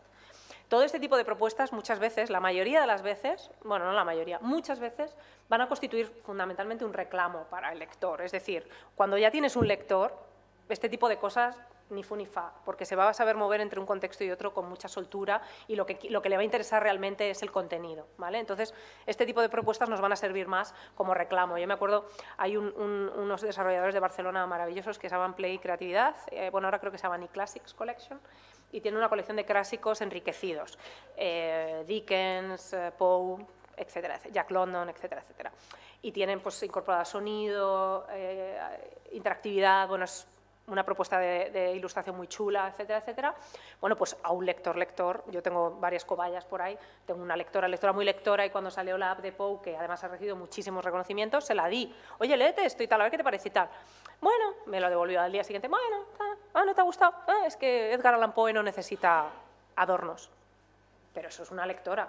Pero a lo mejor a un chaval que no es tan lector, pues el hecho de que tenga música, de que, ay, mira, el cuadro este se mueve, oh, qué cosa, ¿no? Anabel Lee, que se mueve, oh, bueno, pues le puede dar cierto, le puede suponer cierto reclamo o generar cierto interés, ¿vale? Y es importante estar motivado en algo, sobre todo en algo que es tan difícil, porque claro, hablamos de una oferta importante de consumo de contenidos y estamos viendo, pues, por ejemplo, las cifras que está manejando eh, Netflix de crecimiento anual, etcétera, etcétera, pero porque las competencias que necesitas para enfrentarse a ese tipo de contenido, para comprenderlo más o menos a grandes rasgos, pues eh, son, eh, las tenemos más o menos. Digo, comprenderlo más o menos a grandes rasgos por, por no dar por hecho que, que, aunque hayamos muchos eh, crecido o aunque haya muchos de los chavales con los que trabajamos que, hayan nacido en un contexto digital, tienen las habilidades necesarias para manejarse de forma crítica, ¿no? Y, por ejemplo, pues tener en cuenta pues, lo, que estábamos, lo que comentábamos antes, ¿no? El que si determinada escena está hecha de según qué ángulo significa según qué cosa o no, o el que se, se introduzca determinada acción en según qué momento quiere motivar, ta, ta, ta, nada, nada debe ser casual. En una gran creación nada es casual, ni en papel ni tal. Entonces, que se enfrente críticamente a eso no, pero, pero, pero que sí que suponga, pues como os digo, pues un reclamo. Lecturas con realidad aumentada, hay algunos libros. ¿Qué pasa? Todo esto eh, son los contenidos y las propuestas las grandes desconocidas ahora mismo dentro de, los entornos en los que nos movemos. ¿Por qué? Porque se ha movido muy poco desde el entorno editorial.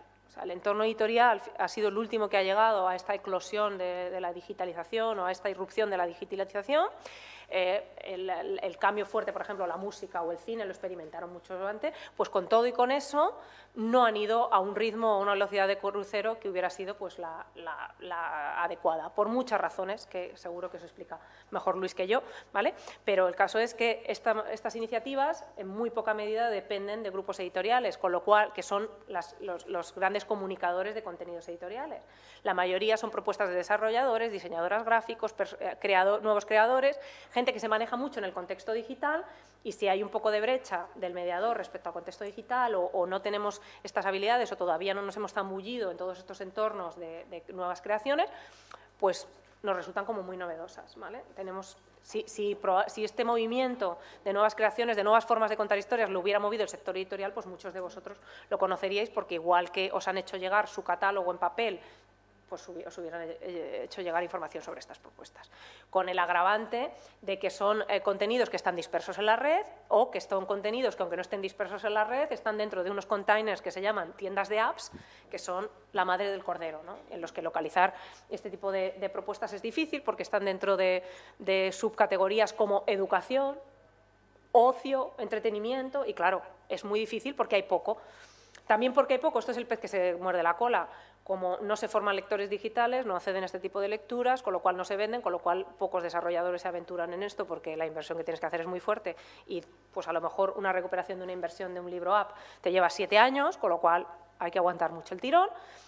Entonces, pues es el pez. No acaba de eclosionar ¿Qué, problema supone todo esto? Que no estemos utilizando este tipo de contenidos, pues que no estamos utilizando contenidos que nos pueden ayudar a formar lectores digitales competentes, que como no se están utilizando es difícil que, crezca la oferta que tenemos de contenido y como no estamos formando a los lectores y no está creciendo la oferta, pues probablemente los chavales pues, se dediquen a ver vídeos.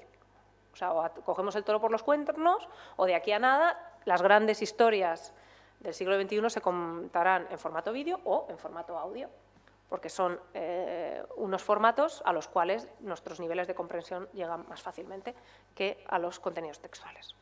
Entonces estamos yo creo que en un momento de transición importante.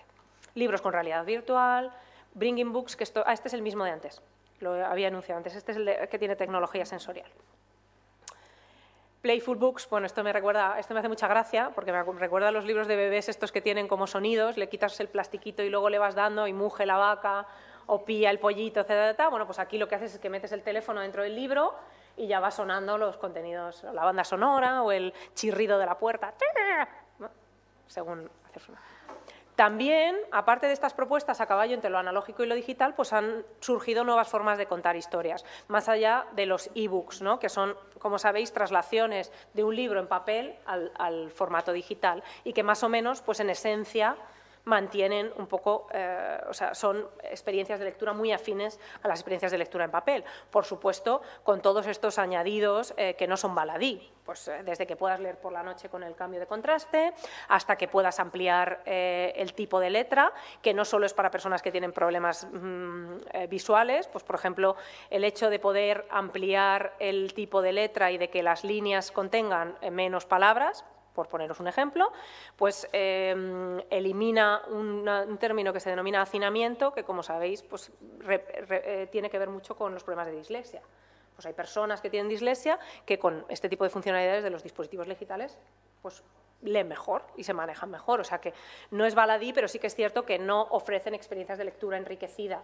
Las experiencias de lectura enriquecidas ahora mismo se las crea el lector, pero claro, tiene que haber un lector con mayúsculas para que diga, esto ahora lo quiero, esto lo quiero jugar, esto lo quiero ver, esto lo quiero escuchar, ahora sigo leyendo, ahora sigo en mi móvil, después en portátil, porque si no, tiene que haber mucho interés por la lectura para que se produzcan ese tipo de experiencias. Si no, es, es, muy difícil.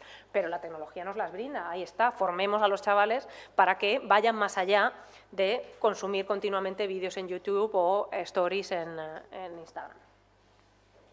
Lecturas enriquecidas, la mayoría es en formato aplicación, aunque ya estamos hablando de otros conceptos como web app, etcétera, etcétera. Bueno, pues son propuestas que, eh, por ejemplo, en, el ejemplo que tenéis ahí, es un libro que ha sido llevado al formato digital, al formato app, pero que si contrastáis el libro con el formato digital, pues veis que la propuesta pues es enriquecida, es diferente. Es como, pues yo qué sé, un libro en pop-up que realmente genere una experiencia de lectura enriquecida, ¿no? no que se le pongan los pop-ups para que cueste 10 euros más la edición, sino porque realmente digas, ay, mira, pues oye, el descubrir esta sorpresa aquí, pues qué bien, qué bien traído, ¿no? Que tal, etcétera, etcétera.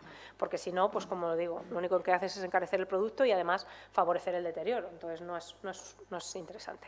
Lecturas interactivas, como la que estábamos comentando, como las de Descubre tu propia aventura. Lecturas transmedia y crossmedia, ¿no? Transmedia que lo que hacen es que cuentan historias eh, en distintos formatos y se interconexionan. Pues, por ejemplo, una novela que está disponible en papel y también está disponible en digital, pero los personajes tienen perfiles en Twitter o perfiles en Instagram y además la protagonista tiene un blog y te puedes ir a su blog y hacer comentarios en su blog, ta, ta, ta. ¿Vale? O crossmedia, que son propuestas más sofisticadas y que lo que haces es que eh, se componen eh, con distintas piezas digitales. ¿no? Pues, por ejemplo, hay una, una experiencia en Estados Unidos que es un poemario geolocalizado, de tal manera que si tú vas, eh, se llama The Silent Story, y si tú vas eh, caminando por ese pueblo, se va desbloqueando contenido, es un, village que, en el que vivían muchos poetas, es un poema, una antología de poemas de, autores que vivieron en, ese sitio, entonces según vas caminando por el pueblo se va desbloqueando distintos contenidos en función del sitio en el que estés, porque era el sitio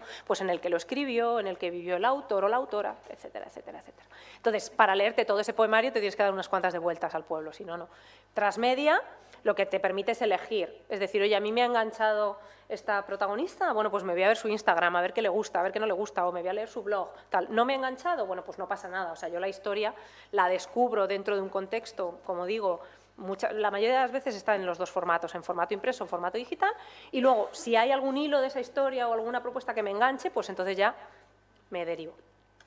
Lecturas geolocalizadas, que como os comentaba de Silent Story se va desbloqueando en función de la, localización, de la, geolocalización de la persona, o, em, este otro, este otro proyecto que al final se ha quedado en proyecto beta, no, no, ha, no ha, crecido más, que es un proyecto portugués que em, iba cambiando el contenido de la historia en función del sitio, de tal manera que si tú abrías el ebook en Italia, pues las referencias culturales, políticas, sociales y demás eran las relativas a ese país, si lo abrías en Estados Unidos otras referencias, etcétera, etcétera. Que son propuestas, que son curiosas, que pueden en determinados casos favorecer la lectura, pues porque a lo mejor, ¿sabes?, eh, no tienes que tener tantos referentes culturales de un país que puede resultar pues yo qué sé, no te digo Estados Unidos, ¿no?, que está todo el día en las noticias, pero a lo mejor Japón, bueno, Japón también es muy conocido, pero yo qué sé, algún país de Asia que el lector le pueda resultar menos conocido y que si le está hablando de dirigentes políticos de ese país diga, ah, ¿qué es esto? Entonces es interesante. Lecturas escritas en tiempo real. Este, esta propuesta escribí sobre ella en el blog hace poco porque mm, es un chatbot que está en Facebook, es de una empresa de seguros. Entonces tú entras en Facebook, te pones a hablar con el chatbot y te hace una serie de preguntas y en tiempo real te crea una historia. Bueno, pues eh, no lo tengo recogido en el blog, pero creo que en los tres primeros meses de funcionamiento había tenido 4.000 usuarios. ¿Cuántos autores de literatura infantil y juvenil de nuestro país venden 4.000 copias de sus libros?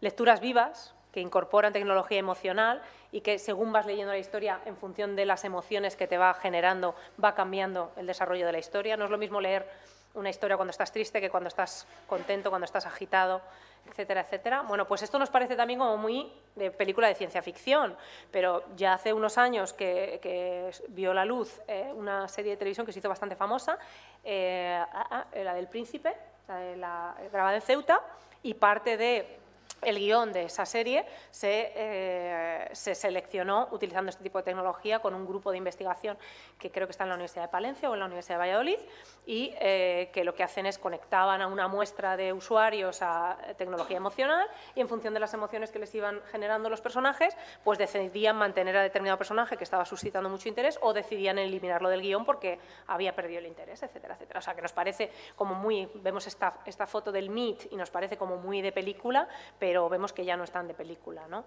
Igual que vemos Her, la película de Her, que si no la habéis visto, por favor la tenéis que ver ya de deberes para el fin de semana, H-E-R, Her, y vemos a una persona hablando con una inteligencia eh, artificial y, intimando y demás, y nos parece como, bueno, estos están flipados, pero hay gente en Japón que se casa ya con inteligencias artificiales y con robots, y nosotros, pues como hemos comentado al principio, hablamos con nuestros teléfonos, o sea que, bueno, tampoco los saltos luego se dan muy rápido. Y además, España es uno de los países de Europa con mayor nivel, nivel de penetración de tecnología. ¿vale? O sea que por ejemplo, somos mucho más permeables a la tecnología que países como Estados Unidos, por muy modernos que nos pueda parecer. O sea, aquí se lleva algo y enseguida hay muchos más smartphones en España que españoles. O sea, que, bueno, que todo este tipo de cosas nos gustan y nos enganchan y las tenemos. Para sacarles un buen partido y para que realmente nos ayuden en algo de una forma crítica, etcétera, pues hay que saberlas manejar.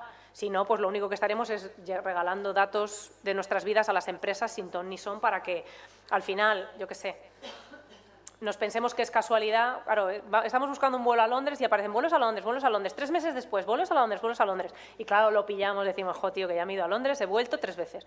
Pero hay cosas mucho más sutiles, como que pases por una tienda y que de repente digas, hmm, mensaje en tu teléfono, aviso en tu teléfono, 10% de descuento en AFNAC. Bueno, no me lo puedo creer. No, pues créetelo porque tienes un teléfono geolocalizado, tienes la app de AFNAC, estás pasando por AFNAC, se han alineado todos los astros, pero porque tú lo has promovido, no ha sido casual. ¿Vale? Entonces, para que seamos conscientes de que todo eso está pasando, pues, pues, pues es importante que, nos formemos en ello, porque si no, pasan cosas que nos parecen, como digo, casuales. Incluso libros, como esta propuesta ya muy friki, muy divertida, que eh, juzgan al lector ¿no? y que deciden si se abren o no. Esta, si queréis ver el vídeo, lo tenéis dentro del enlace. Eh, es una caja como muy de mucha parafernalia y entonces utiliza tecnología de reconocimiento facial. Y entonces un poco juega con esa, esa idea de que no te enfrentes a una historia con prejuicios. Entonces, si eh, la, la, tecnología de reconocimiento facial ve que estás mostrando algún sentimiento de una manera muy desmedida, ¿no? que estás como muy ansioso, o al contrario, que estás como muy, como diciendo, ¿eh? pues no se abre, se pone rojo y no se abre. Hasta que no estás como diciendo, venga, vale, a ver de qué va esto pues no se abre, ¿vale? Pues son cosas frikis, pero son cosas que van pasando y que van transformando nuestras formas de enfrentarnos al contenido. La selección es más importante hoy que nunca, ¿vale? Mucho, mucho, mucho más importante. ¿Por qué? Porque no buscamos contenidos. La mayoría de nosotros no buscamos contenidos. Vamos consumiendo en el día a día lo que nos va llegando, el último vídeo que nos manda no sé quién, la última información que nos manda no sé cuál, de una manera muchas veces que no es crítica para nada, ¿vale? Y eso siempre se hace con algún fin o para distraernos en cosas que tal, o para viralizar informaciones que no son verdad, fíjate como lo trágico de la semana pasada, ¿no? o hace dos, esa información que provocó una muerte, porque ¿cómo fue esto? Es que lo he leído muy en diagonal, lo he leído muy en diagonal. Pues eh, ha sido en algún país de, de, Asia, se hizo viral una información y entonces le pegaron una paliza a unas señoras. Luego puedo recuperarla y a una de ellas la mataron. Ah, porque había desaparecido un niño o algo así y entonces empezó a ulucubrar qué tal y qué cual, bueno, se empezó a hacer viral y pillaron a una señora que por banda y la mataron a palos. O sea, es que es alucinante, por un mensaje de móvil. O sea, dices, nos estamos viendo locos. Pero también porque las empresas que prescriben contenidos, Google, etcétera, etcétera, tienen una serie de algoritmos, y eso que Google utiliza también a personas, que eso es muy guay. Pero, mm, pero tiene una serie de algoritmos para, para hacernos llegar lecturas. Y a ver, en un sentido está muy bien porque es muy cómodo. Si a mí me gusta determinado tipo de lecturas, que a mí me vaya llegando, lo que se va publicando en torno a eso está fenomenal. Pero ya no se van a producir ese tipo de encuentros con una lectura de un tema que nunca te hubieras imaginado y que de repente te fascina. O a lo mejor ya te vas, vas a ir como muy, muy dirigido en tus lecturas, ¿no? Y a lo mejor pues te pierdes otras cosas de otras tipologías, de otras propuestas, de otras temáticas entonces es importante que mm, intentemos complementarnos con todo, no, no denostarlos ni criticarlos, eso está ahí, sí es maravilloso que, todo esto esté ahí, pero tenemos que saber que está ahí intentar ver cómo nos aliamos con ello para, formar parte un poco de, esta ecuación Y, no dejar que, un algoritmo nos sustituya nuestra capacidad prescriptora. ¿Por qué? Pues porque jugar somos mediadores formados y, con conocimientos que podemos guiar a nuestros chavales en su itinerario lector. Pero para eso necesitamos conocer a los chavales, conocer las propuestas de lectura que hay para ellos y ver cómo les vamos guiando de tal manera que se mantenga ese pulso entre hasta dónde llegan y hasta dónde queremos que lleguen y así. Porque si tiramos mucho se rompe la cuerda y ni hay motivación, ni hay lectura, ni hay avance. Pero si no tiramos, pues se quedan ahí y nos encontramos con que todo el mundo lee, pero corcholis, menudos resultados tenemos en las pruebas de lectura. ¿Esto qué es? La clave en la selección el lector, ¿vale? Una selección debe responder a sus gustos, intereses, necesidades, adecuarse a sus niveles de competencia, al tiempo que contribuye al desarrollo de sus capacidades y cualidades como lector. Un poco lo que comentamos, esa cuerda que los mediadores siempre tenemos que mantener. Las lecturas en las que ellos están interesados, siempre como base, como reclamo, las tenemos que conocer y tenemos que buscar en ellas esos puntos de anclaje, con propuestas un poquito más sofisticadas, un poquito más exigentes, un pero siempre manteniendo ese pulso y siempre intentando generar pues, ese ecosistema de empatía que va a favorecer que le podamos prescribir, porque si no, pues solo escuchará a prescriptores de su edad. Aún así, siempre va a ser el, mayor prescriptor, ¿no? porque lo ha sido siempre, la recomendación tú a tú siempre ha sido la más potente en la era digital y en la era analógica. Pero si queremos un poco formar parte de todo eso, hombre, si tú te pones a leer lecturas eh, para chavales y hay alguna lectura a la que le ves la gracia, a la que le ves el punto, a la que le ves el interés, que las va a ver y la prescribes, lo vas a hacer con una actitud que nada tiene que ver con no lee esto que esto es para tu edad, que no motiva en absoluto. ¿Cuándo y cómo empezar? Como estáis todos con chavales ya muy avanzados, eh, bueno, pues estas recomendaciones yo creo que os tocan menos, ¿vale? Pero bueno, las tenéis ahí por si queréis echarles un vistazo. También un poco este, este concepto que, me gusta siempre tratar cuando hablo de tecnología, que es el control parental o las herramientas de control. Aquí lo llamo control parental porque estos contenidos beben de una infografía que os enseñaré a continuación, pero es en general el dejar en manos de la tecnología el control sobre el contenido. Que no, Igual que lo de no, ¿bloqueáis páginas porno en la biblioteca? No, formamos a nuestros lectores para que no las usen. ¿Que es muy difícil? Claro que es muy difícil, pero ¿de qué me sirve solo bloquear? Para empezar, porque muchos ya saben los trucos y las desbloquean. ¿Vale? Con lo cual, siempre formación. ¿Que tenemos estas herramientas que pueden ser útiles, que tenemos que conocerlas? Muy bien, ¿vale? Pero lo suyo es la formación.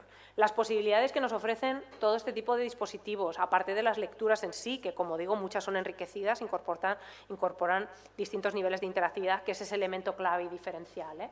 Y que no lo tienen solo las lecturas digitales, que hemos hablado de las lecturas de Descubre tu propia aventura, pero yo que sé, hay por ejemplo un libro de Hervé Toulet que se titula Un libro, que es, eh, que si no lo conocéis os invito a que lo descubráis, y es un juego de puntos, entonces el lector va jugando con los puntos, tocándolos en la pantalla, si tocas este se pone verde, si tocas este se pone azul, si vas viendo, y, es el concepto de interactividad trasladado al libro, o sea que la interactividad también está muy presente en algunas propuestas analógicas, en algunas propuestas en papel, ¿no? pero sí que es cierto que es uno de los principales elementos diferenciales de todo este ecosistema digital. Pero también pues saber todas estas funcionalidades que nos ofrecen los dispositivos digitales, porque muchas veces ni nosotros mismos los utilizamos. Porque es que no nos da tiempo, pues nos tiene que dar. Si queremos formar a los chavales, nos tiene que dar.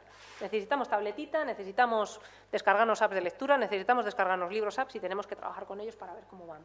Porque si no, pues nos quedaremos en un nivel muy superficial de prescripción de contenido y de trabajo con ese tipo de contenidos. Para ayudaros, em, pues hemos creado, que os comentaba eh, Jorge cuando la presentación, eh, una herramienta de prescripción, es una herramienta que está a vuestra disposición, que es totalmente abierto y gratuito.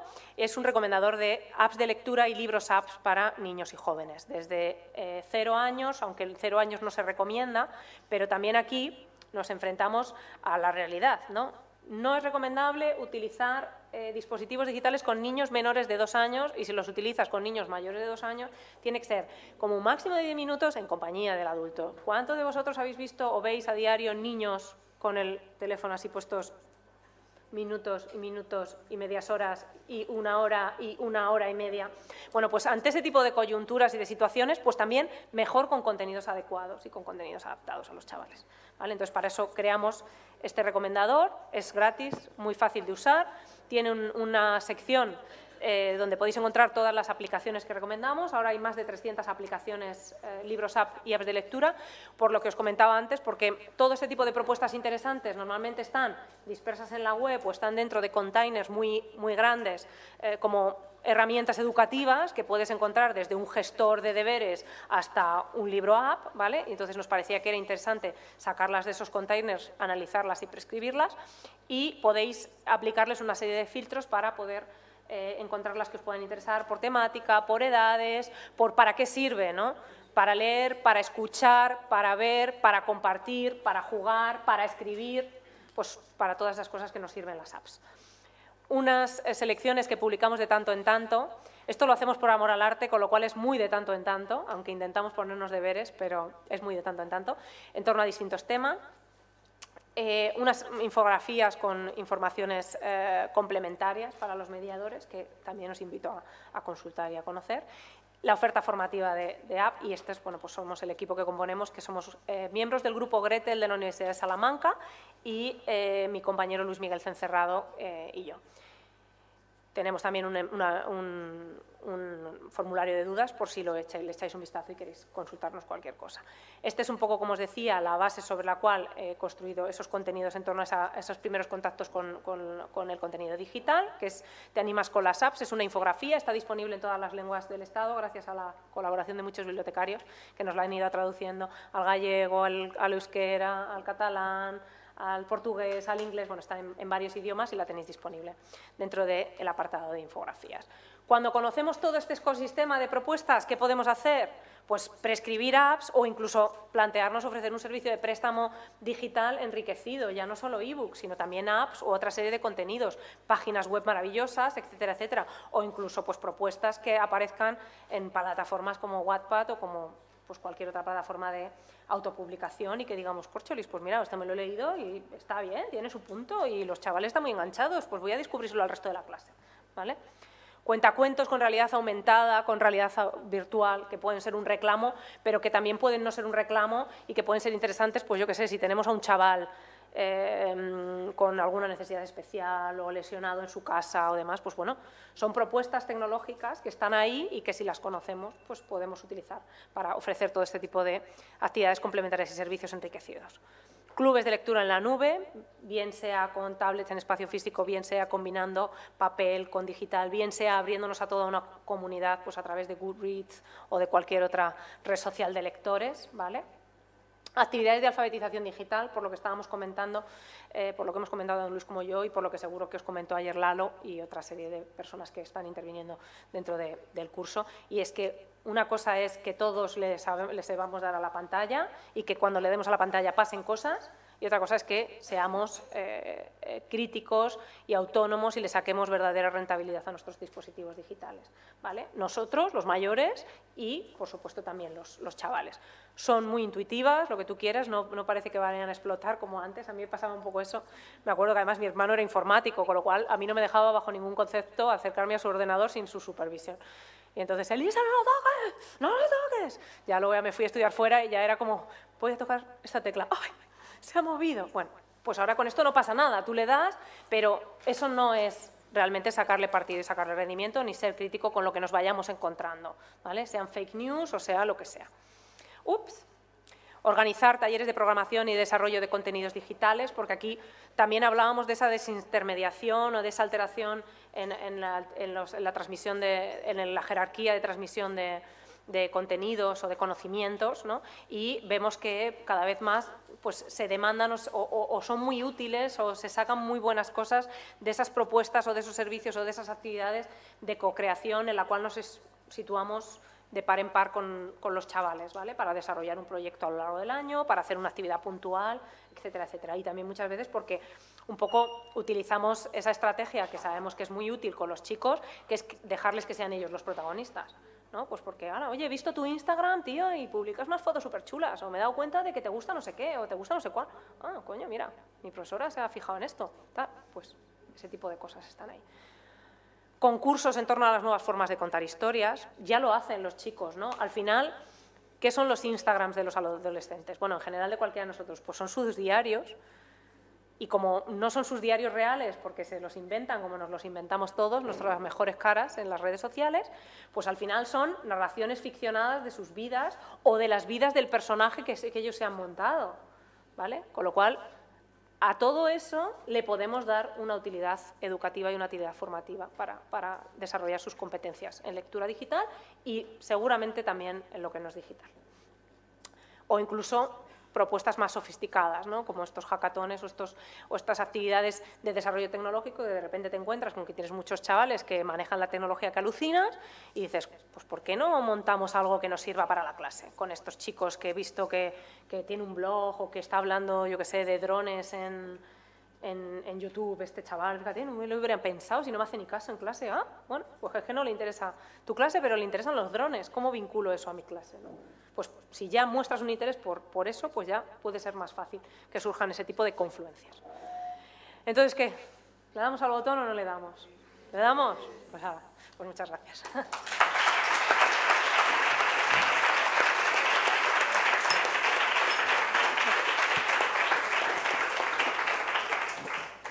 Bueno, muchísimas gracias a los dos, Elisa y, Luis. Tiempo para preguntas.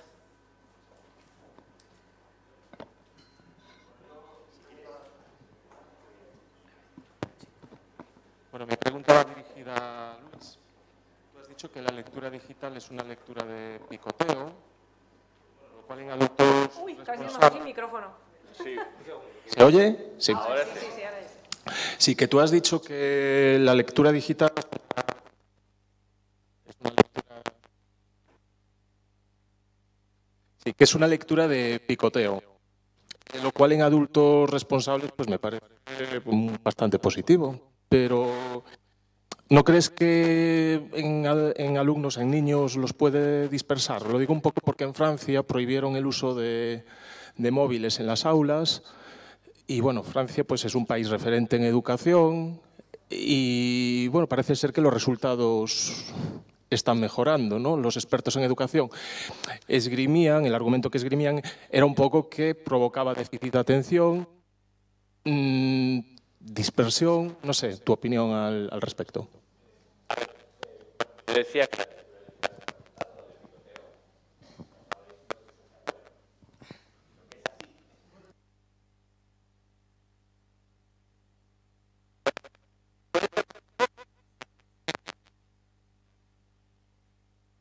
más es, es una realidad, la lectura digital favorece la fragmentación, el picoteo, etcétera. Lo que hay que hacer es saber manejarse en ese escenario. ¿De acuerdo? Si se nos hace manejar o si enseñamos a manejarse en ese escenario a los chavales, será positivo. Si no, no sabemos manejar, podrá ser negativo. Eh, eh, para, para fijar lo que me gustaba me gustaría decir. ¿eh?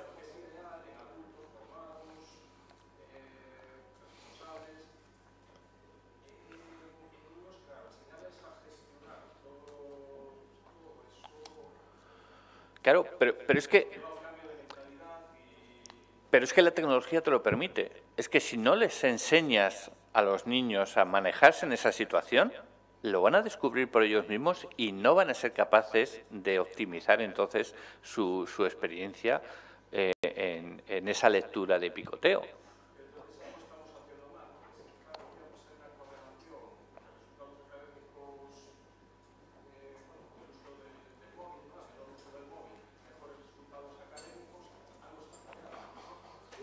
Claro, está, fallando en que, en que, como siempre yo creo, eh, bueno, quizás quizá estamos, estamos fuera de, vuestra propia realidad, pero yo creo que es que muchas veces, digamos, los sistemas no, eh, son, eh, no se asocian a la realidad.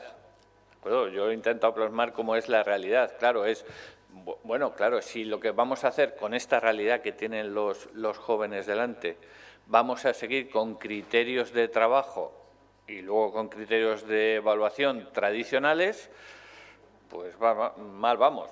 Habrá que unir realidad y, eh, sistemas de, educación, de evaluación, etcétera. Pero la realidad es esa.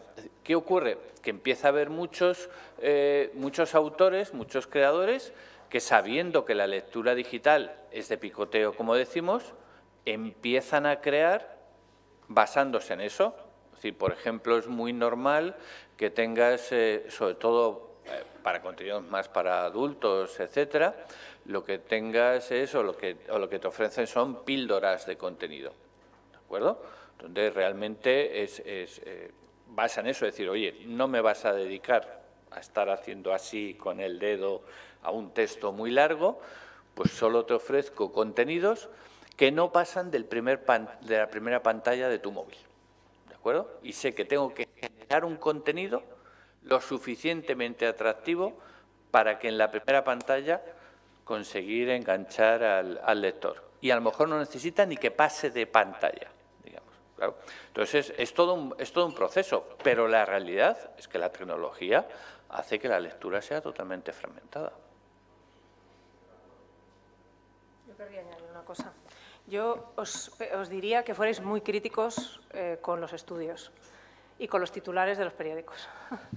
porque yo lo digo porque lo hago a diario y en mi blog eh, todos los, estudios que hay sobre lectura, lectura digital y lectura en general los voy recopilando y voy hablando de ellos. Y claro, no, eh, en Francia se ha hecho un estudio que, es que las tabletas son horribles. Y te vas y resulta que es un ese, no sé si es el caso, ¿eh? pero os digo para que seáis críticos porque muchas veces te encuentras con que es un estudio hecho con una clase de una escuela, de un suburbio, de un pueblo, de un... Y dices, ya, bueno, claro, pero es que a lo mejor en una, yo qué sé, eh, una escuela mm, eh, de un entorno céntrico con un nivel X, con un tal, con una cual, pues las tabletas la están petando.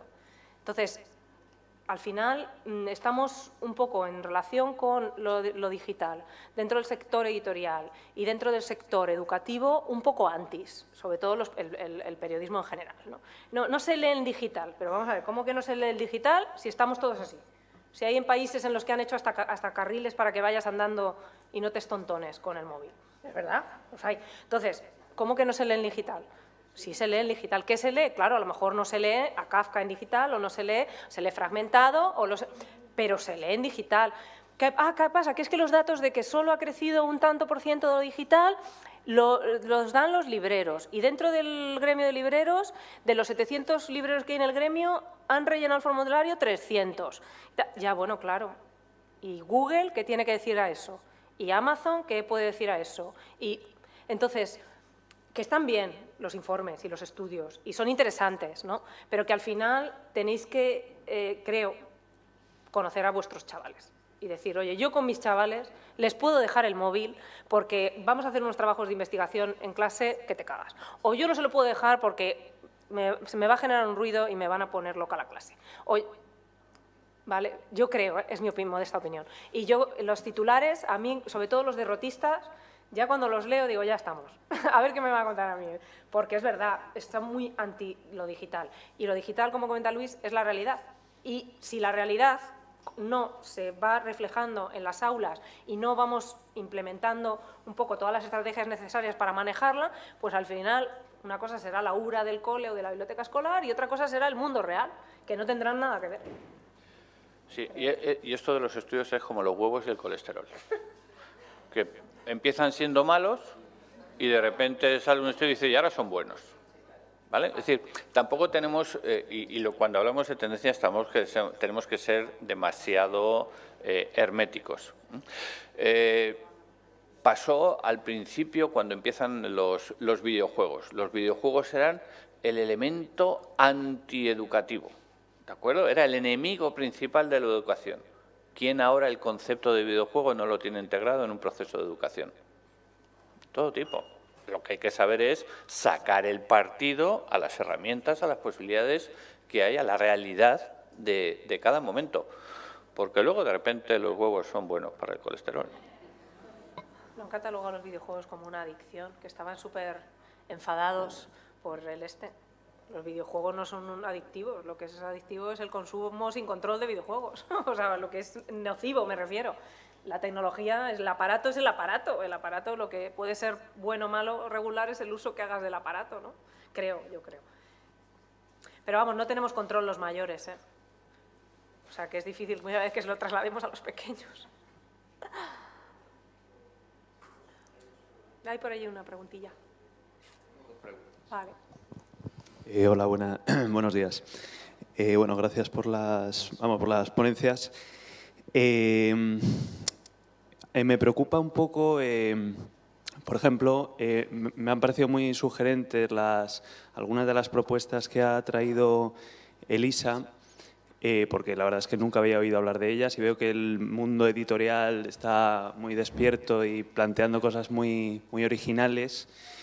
lo único, se ha tocado un poco de refilón, pero me preocupa especialmente y quería saber vuestra opinión.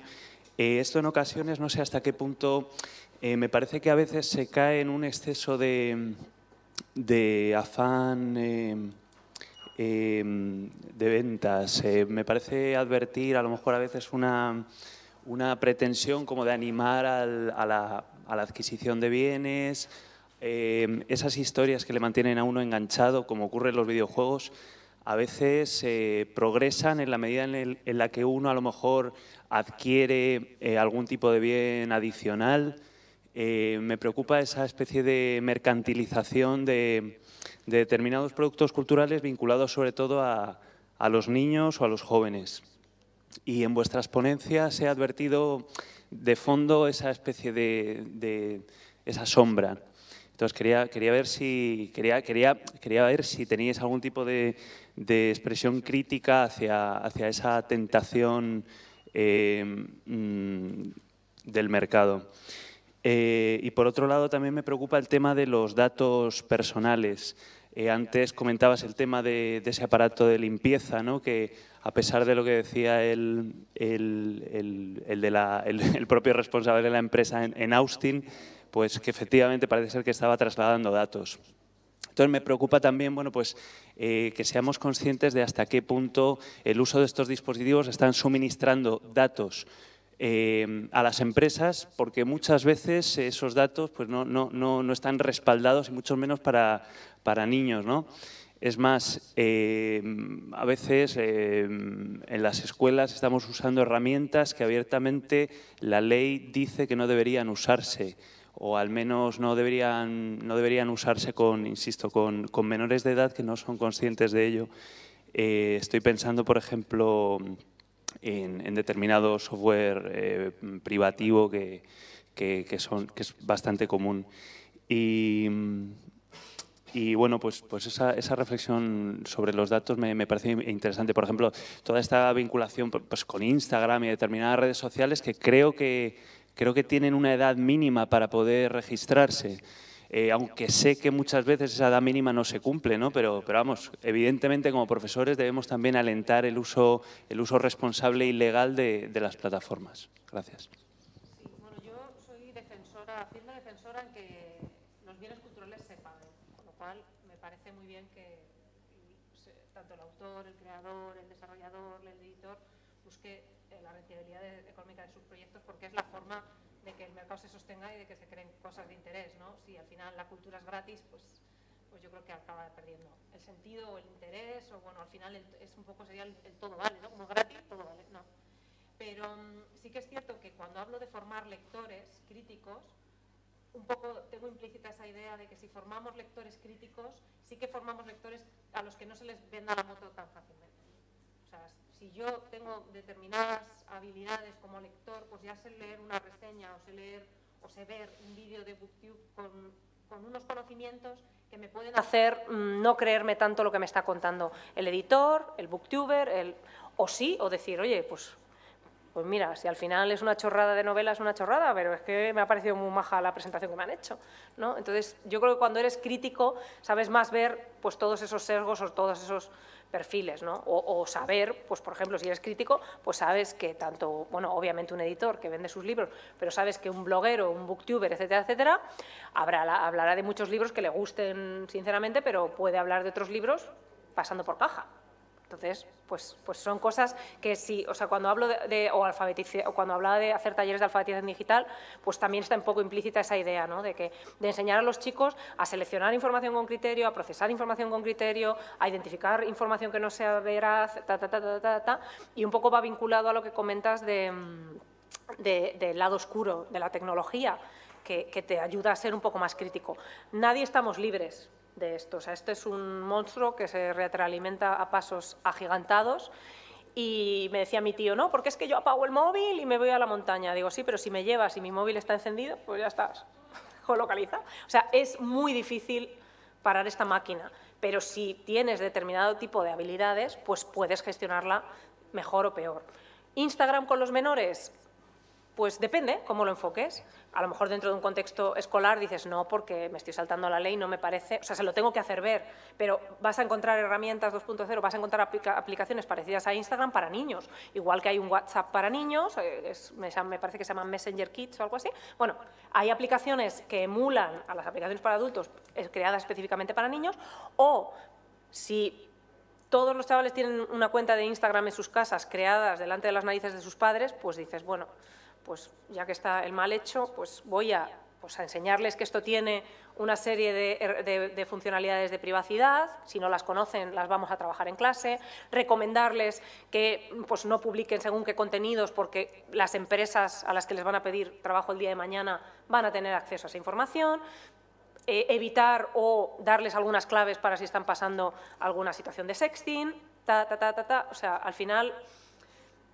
yo creo que con conocimiento de causa todo este monstruo se puede gestionar de una mejor manera o a, desgeolocalizarse en un determinado momento o a decir, joder, con todo lo que me ha contado mi profe, pues ya no me duele tanto pagar el euro por esta app que no me, no me la da gratis por, a cambio de datos, que también, porque también muchas veces, no, no, oye, WhatsApp, ¿tú sabes qué WhatsApp tal?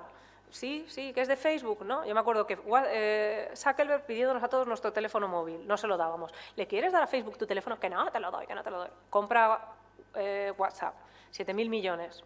Le salió barato, además lo dijo él, me ha salido barato, ya tengo el teléfono de todo el mundo. ¿Vale? Se queda con las conversaciones, Facebook se queda hasta con los mensajes que no publicas. Tú empiezas a escribir un día muy indignado y luego dices, mira, mira, ¿qué me manda a mí? ¿Qué me manda a mí? Me voy a dar una vuelta, lo borras. Hasta eso lo guarda para tener información sobre nosotros. Con lo cual, pues con el conocimiento yo creo que se puede, no sé, sobrellevar mejor quizá. Eh, a ver, un par de comentarios. Eh, de lo primero que has dicho, de todas estas nuevas posibilidades, etcétera, permíteme que te corrija. Precisamente quien no está involucrado en todas estas propuestas es el mundo editorial. Sí, eso sí. el mundo editorial es el mundo más tradicional que existe. ¿De acuerdo? Y si lo único que le interesa es que el 95% de vuestros alumnos compren el libro que es la bibliografía de ese curso, ya está.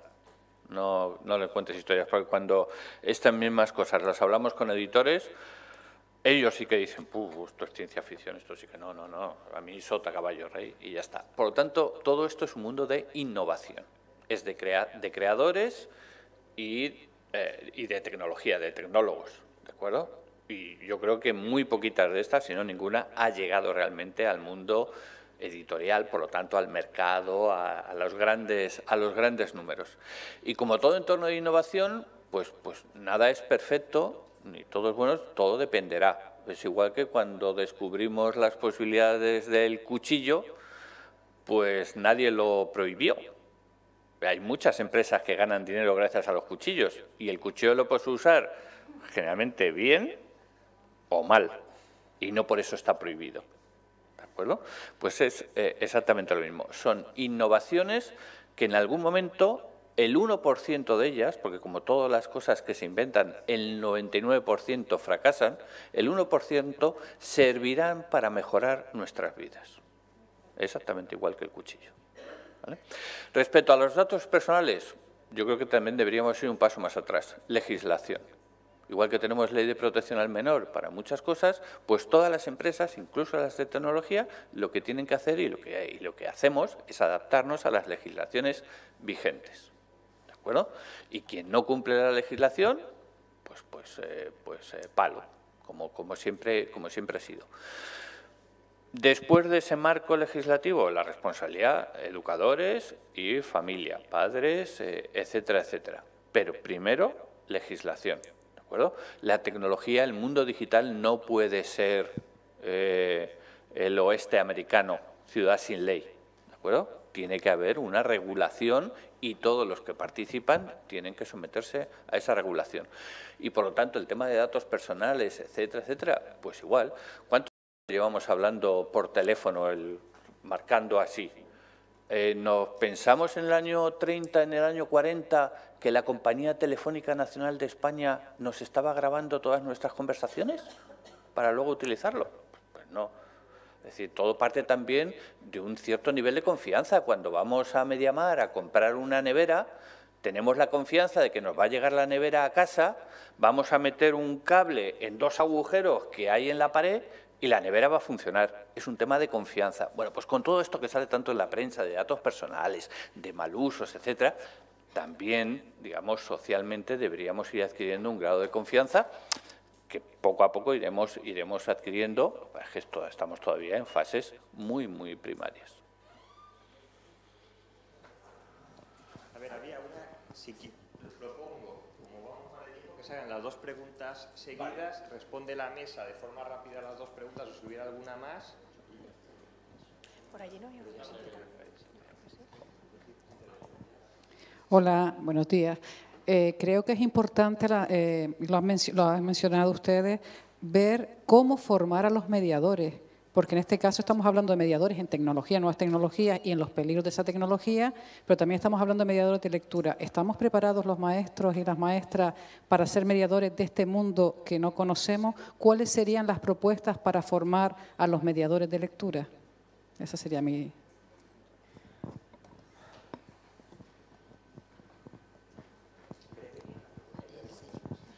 Bueno, muchas gracias por las, dos presentaciones, han sido muy interesantes. Yo quería preguntar en relación con justo el mundo editorial, que parece ser que en España, por lo menos, pues el avance en cuanto a formatos que se ofrecen novedosos pues es escaso.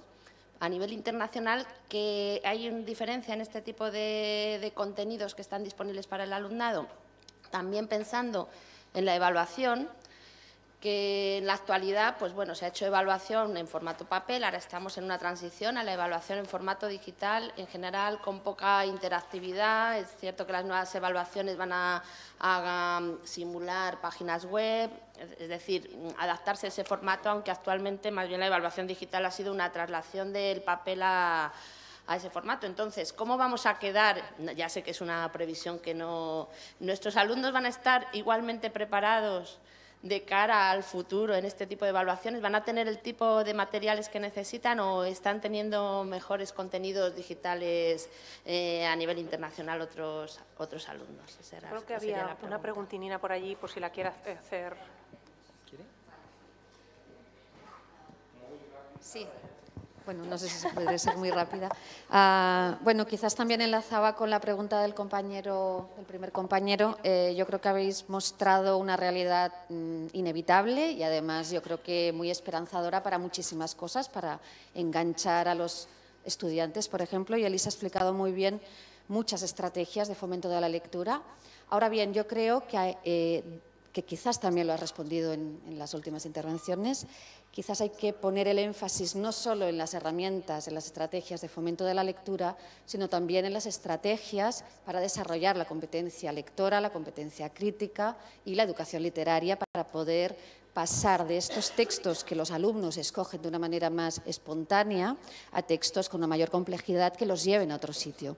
Por lo tanto, mm, simplemente quería hace referencia a la necesidad de que nosotros como docentes, también a través de la formación del profesorado, nos planteemos que esa es una parte, que es la del corpus, que es la de las posibilidades que nos dan las tecnologías, pero que hay otra que, es mucho más de procesos lentos, que son procesos explícitos de hacer evidente eh, cuáles son las complejidades de los textos, eh, cuáles son los elementos, las características en las que te tienes que, que fijar para poder ir desarrollando esa comprensión lectora, em, cuáles son los elementos de educación literaria que te van a permitir precisamente pasar de una literatura mm, plana, como en algunos casos podemos observar en, las eh, apps que hemos visto, y que son muy interesantes, pero cómo podemos pasar de estas de esta literatura más plana a una literatura más consistente. Y no solo hablo de textos literarios, también hablo de textos informativos, argumentativos, que nos permitan ser lectores críticos, pero que para ello, y no sé si estaréis de acuerdo, ah, eh, se tienen que hacer explícitos esos contenidos en las aulas y se tienen que tomar procesos mucho más lentos y a veces a priori menos sugerentes para los estudiantes. Y era un poco saber qué opináis sobre esta otra mm, eh, pata del taburete, que no sería solamente el fomento de la lectura y el corpus.